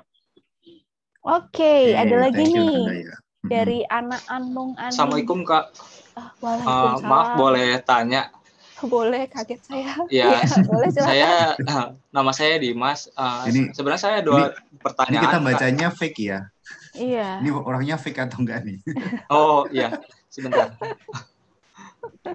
Oh kameranya di oh iya kelihatan. Iya, ah, hai. Oh, hai. Sebenarnya saya dua pertanyaan kak. Yang pertama hmm. itu dari dokumentasi apa? Oke. Okay. Uh, perlu nggak sih kita dari um, bikin eh, maju um, nambahin SKCK, terus sertifikat-sertifikat organisasi, terus hmm. sertifikat keahlian itu perlu nggak sih kak? Terus okay. uh, eh, kayak portofolio itu kan uh, kemungkin kebanyakan dari kita uh, hmm. punya project tapi kan nggak sebagus untuk ditampilkan di portofolio gitu. Apa itu harus kita tambahkan di portofolio atau apa harus kita buat portofolio? Terus okay. pertanyaan yang kedua itu kan uh, tadi kata Kak Reza kita manfaatkan metode uh, online gitu kan untuk mencari pekerjaan uh, di biasanya di metode online itu kan ada yang mencantumkan uh, salary-nya, gajinya, ada yang enggak. Mm -hmm. Nah, untuk pas kita interview itu gimana ya caranya kita nanyain uh, gaji uh, kita selama kita melamar pekerjaan itu? Oke. Okay. Sudahkah pertanyaannya, Dimas? Iya, sudah. Oke. Okay. Saya coba bantu jawab ya. Yang pertama, sebentar, saya lupa. Oke, okay. yang pertama itu terkait uh, lampiran ya. Kalau lampiran sih menurut saya pribadi, uh, silakan lampirkan yang sesuai dengan requirement aja. Misalnya nih, dibutuhkan senior developer, misalnya kayak gitu ya. Nah, teman-teman terus punya sertifikasi bahasa pemrograman tertentu misalnya. Nah, itu oke okay buat dilampirkan. Untuk pertama kali kirim ya. Kalau SKCK dan lain-lain, setahu saya biasanya itu adalah kelengkapan data yang dibutuhkan ketika teman-teman um, nanti sudah mau pendataan untuk karyawan ya. Kalau di Metro Data sih seperti itu ya. Jadi memang sebaiknya kirimkan yang seperlunya aja gitu. Sertifikat kadang saya juga sedih kalau dikirimin sertifikat pramuka zaman SD. Itu apa hubungannya ya dengan uh, dunia kerjaan misalnya seperti itu. Jadi benar-benar kirimkan yang sesuai aja atau misalnya teman-teman pernah uh, ikut uh, workshop IT apa misalnya kayak gitu. Itu masih oke okay sih karena itu kan sesuai misalnya dengan posisi yang teman-teman lamar kayak gitu. Jadi menurut saya jadi lampirkan saja CV yang singkat pada jelas, kemudian juga eh, sertifikat-sertifikat yang mendukung saja, gitu. Jadi sertifikat-sertifikat lain tidak perlu karena um, itu akan menjadi cukup banyak yang harus kami baca dan itu akan cukup melelahkan sih bagi kami gitu. Ujung-ujungnya mungkin juga nggak terlalu kami periksa sih, kami hanya akan benar-benar baca CV-nya aja.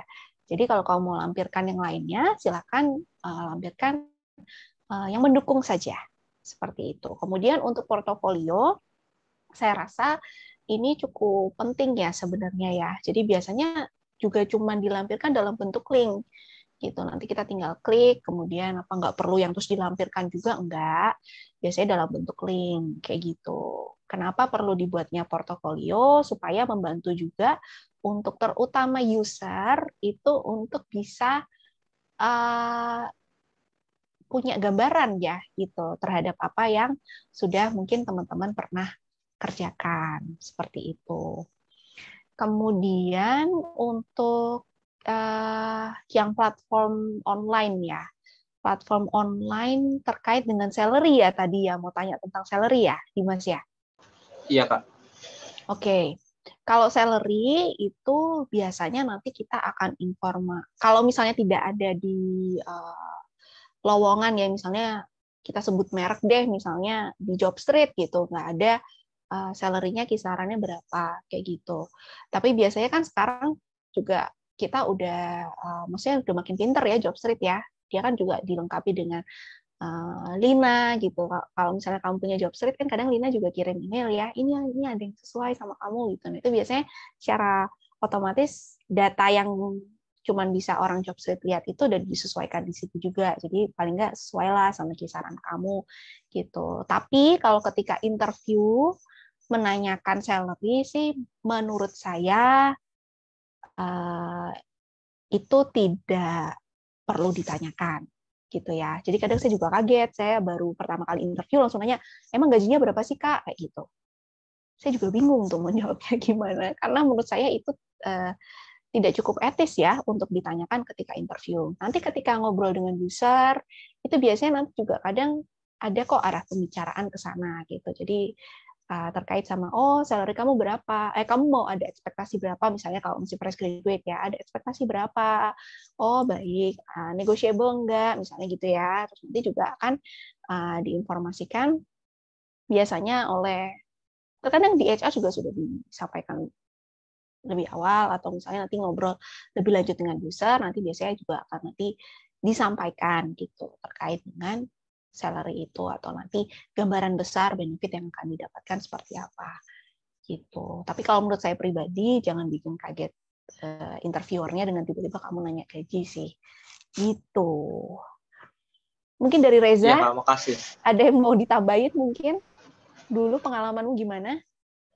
Iya sih, waktu ditanya tentang salary sih ada di beberapa uh, bagian sih Mbak kayak di Mas Joko juga ada di Mbak juga waktu itu jadi dari kitanya nggak nggak ini apa nggak nggak menanyakan secara langsung karena di nanti setelah proses itu kan ada surat ada surat-surat dikirim di email itu pun langsung tercantum gitu mm-hmm. offering ya namanya ya, ya offering. Mm-hmm. gitu oke okay. sudah jelas ya berarti Dimas ya ya sudah kak makasih kak oke okay. uh, Lanjut ke anak Anung Anindito. Untuk di dalam CV, apakah pengalaman organisasi harus dijabarkan, seperti di jabatan organisasi dan prokja apa aja yang diikuti? Oke, kalau pengalaman organisasi ya uh, boleh dituliskan, dijabarkan, jabatannya apa, kemudian uh, tanggung jawabnya apa gitu ya, uh, selama menjadi uh, apa namanya uh, di jabatan itu gitu. Tapi mungkin kalau misalnya cukup banyak pengalaman organisasinya tidak perlu dituliskan semua ya. Kayak misalnya saya juga sebenarnya selain di CV itu saya juga punya banyak pengalaman lain sih di organisasi gitu. Tapi saya hanya uh, sebutkan uh, dua uh, posisi yang pernah dengan uh, apa namanya tanggung jawab yang paling besar misalnya seperti itu. Jadi nggak perlu semuanya sih. Karena kan sebenarnya dengan dua itu sudah cukup menggambarkan sih apa saja yang dalam tanda kutip bisa saya lakukan atau pengalaman apa saja sih yang rangkumannya yang saya dapatkan gitu karena kalau semua juga penuh nanti CV saya gitu Oke, lanjut dari anak Agung Nila, dari Alika Damayan. Mhm. Kalau organisasinya nggak di kampus tapi di luar kampus, misalkan di lingkungan atau organisasi lain, boleh dicantumkan di CV nggak? Gimana tuh Mas Joko, boleh nggak? Boleh lah. Boleh aja pasti. Boleh, iya boleh. Maksudnya eh, kalau kamu belajar sesuatu di situ, ya boleh-boleh aja. Misalnya kamu tidak cukup aktif nih di perkuliahan, tapi misalnya aktif, misal nih sederhana, aku aktif di Karang Taruna kak, aku pernah jadi ketua Karang Taruna misalnya gitu, ya nggak masalah. Tapi dijabarkan juga, kamu punya tanggung jawab apa, atau eh, kamu belajar apalah dalam tanda kutip di situ apa gitu ya. Kalau ikut tapi terus cuman ikut-ikut aja tapi nggak ngapa-ngapain juga yang nggak usah ditulis gitu. Kan kadang ada juga kan yang oh saya ikut acara apa di kampung tapi eh, di lingkungan rumah tapi ya ikut-ikut aja gitu. Sebenarnya nggak ngapa-ngapain ya nggak perlu dicantumin Ya, jadi beberapa hal kayak organisasi atau apa yang teman-teman akan cantumkan itu ada kemungkinan besar ditanya ini. Jadi teman-teman bisa pamer. Oh, eh, Pak, Bu, saya Pamer, tuh ya, bisa benar, begini loh. Saya sudah Yes. belajar begini. Begitu. Mm-mm. secara Lebih soft gitu skill sih. ya itu Mas Yes, ya Betul, betul, betul. Ya, oke. Hmm. Kemudian dari Vika. Kak Adela, pada saat walk-in interview, boleh tahu nggak bagaimana ekspresi atau raut wajah saat interview menemukan CV yang masih acak-acakan? Tuh, ketawa kayak gitu mungkin ya. kalau usernya ketawa gitu mungkin ya. Tapi kalau saya sih mungkin ketika awal-awal masih kerja jadi recruiter, mungkin ya garuk-garuk, terus eh, berkerut alisnya. Tapi nggak juga sih, karena kita kan nggak baca CV di tempat ya kan, kalian udah kirim dulu. Kita kagetnya udah di depan kalian gitu, jadi kita udah lihat dulu gitu. Jadi em, ya biasa aja sih, biasanya raut wajahnya nggak yang gimana-gimana, nggak yang membedakan kalau misalnya ini keren banget gitu, terus saya jadi kayak berbinar-binar, excited ya nggak juga, sama yang eh, merasa bahwa aduh saya nggak nulis apa-apa nih ya ekspresi saya sama aja sih biasa aja gitu. Nggak ada nggak ada perbedaan yang signifikan gimana gimana jadi daripada teman-teman mempersiapkan diri dengan informasi-informasi nah eh, yang bersifat kayak cenayang ya aduh kalau kayak gini nanti berarti usernya gini kalau gini berarti interviewernya gini mending teman-teman persiapkan diri teman-teman sebaik mungkin aja sih supaya nanti kami uh, bisa banyak gali, bisa banyak apa. Nah, itu malah bisa uh, semakin besar probability untuk bergabungnya daripada teman-teman mengira-ira sebenarnya kami ini akan bereaksi seperti apa. Gitu. Dan karena juga Mas Joko ini udah udah interview sambil merem kali. Jadi dia juga udah flat-flat aja nih kalau baca CV. Oh ya, gini. Paling ya kalau kamu apa cuman oh ya, gitu. Padahal ya kita nggak pernah tahu sebenarnya apa yang dipikirin gitu kan. Jadi tidak usah tebak-tebak berhadiah. Oke, di chat udah habis nih. Ada lagi yang mau bertanya kah? Eh, mungkin pertanyaan sudah ditutup ya kak. Jadi Oh, oke, oke, oke. Wah, tidak akan ditutup ya Mbak Adel. Wah, Pak Elan nih kok menyimpulkannya tepat sekali loh. Iya Pak, kalau kalau terlalu acak-acakan ya Bapak juga pastinya kan juga lagi cari ya Pak ya. Kalau acak-acakan banget kan Bapak juga nggak mungkin panggil kan Pak. Bapak juga bingung kan Pak bacanya kan Pak. Jadi ya secara lebih gamblangnya begitu ya teman-teman. Kalau acak-acakan banget ya mungkin kita akan ngobrol di lain waktu gitu. Terima kasih eh, Kak Adel, Kak Joko, dan Kak Reza tadi Ya. menjawab semua pertanyaan di sini. Mungkin untuk acara selanjutnya, yaitu penyerahan sertifikat untuk kedua narasumber, yaitu Kak Reza dan Kak Adel. Silakan untuk pihak panitia.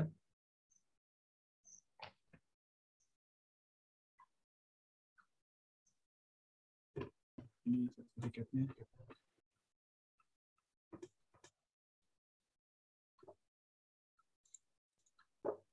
Baik, eh, setelah ini semua acara ditutup akan ada sesi dokumentasi. Untuk sesi dokumentasi akan saya alihkan ke KASEGAF. Dan jangan lift dulu ya, karena sehabis sesi dokumentasi ini akan ada link untuk pengisian sertifikat. Ya, sebenarnya eh, semua peserta diharap uh, membuka kameranya untuk sesi dokumentasi.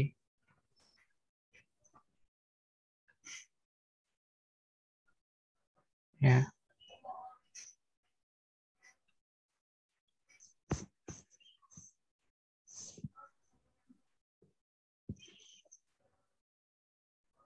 Uh, yang lain? Sudah? Kah?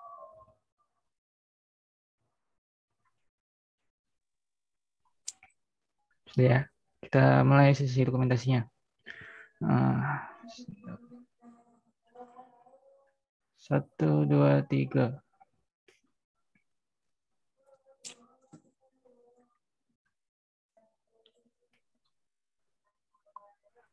Kita lanjut ke page 2. Satu, dua, tiga.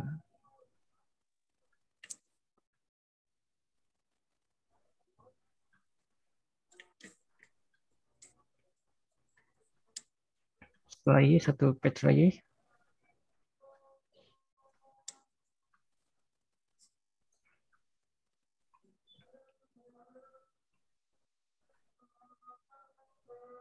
Ya uh, sudah.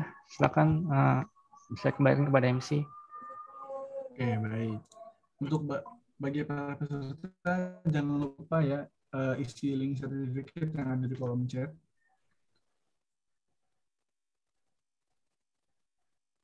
dan door prize nanti akan dihubungi oleh pihak panitia setelah acara selesai. Seperti itu. Baik, eh, terima kasih untuk seluruh peserta yang hadir pada acara hari ini dan para pembicara. Semoga ilmu yang didapat pada hari ini dapat bermanfaat bagi kita semua dan menjadi semangat untuk belajar di Prodi Teknik Informatika. Saya mewakilkan atas nama panitia yang mewakili acara hari ini. Bila ada tutur kata yang kurang berkenan di hati, mohon maaf sebesar-besarnya. Sekian, mari kita tutup acara ini pada hari ini dengan membaca Alhamdulillah, Alhamdulillahirrahmanirrahim. Wassalamualaikum warahmatullahi wabarakatuh. Waalaikumsalam warahmatullahi wabarakatuh. Terima kasih Mbak Adel. Terima kasih banyak. Ya, Reza, makasih ya.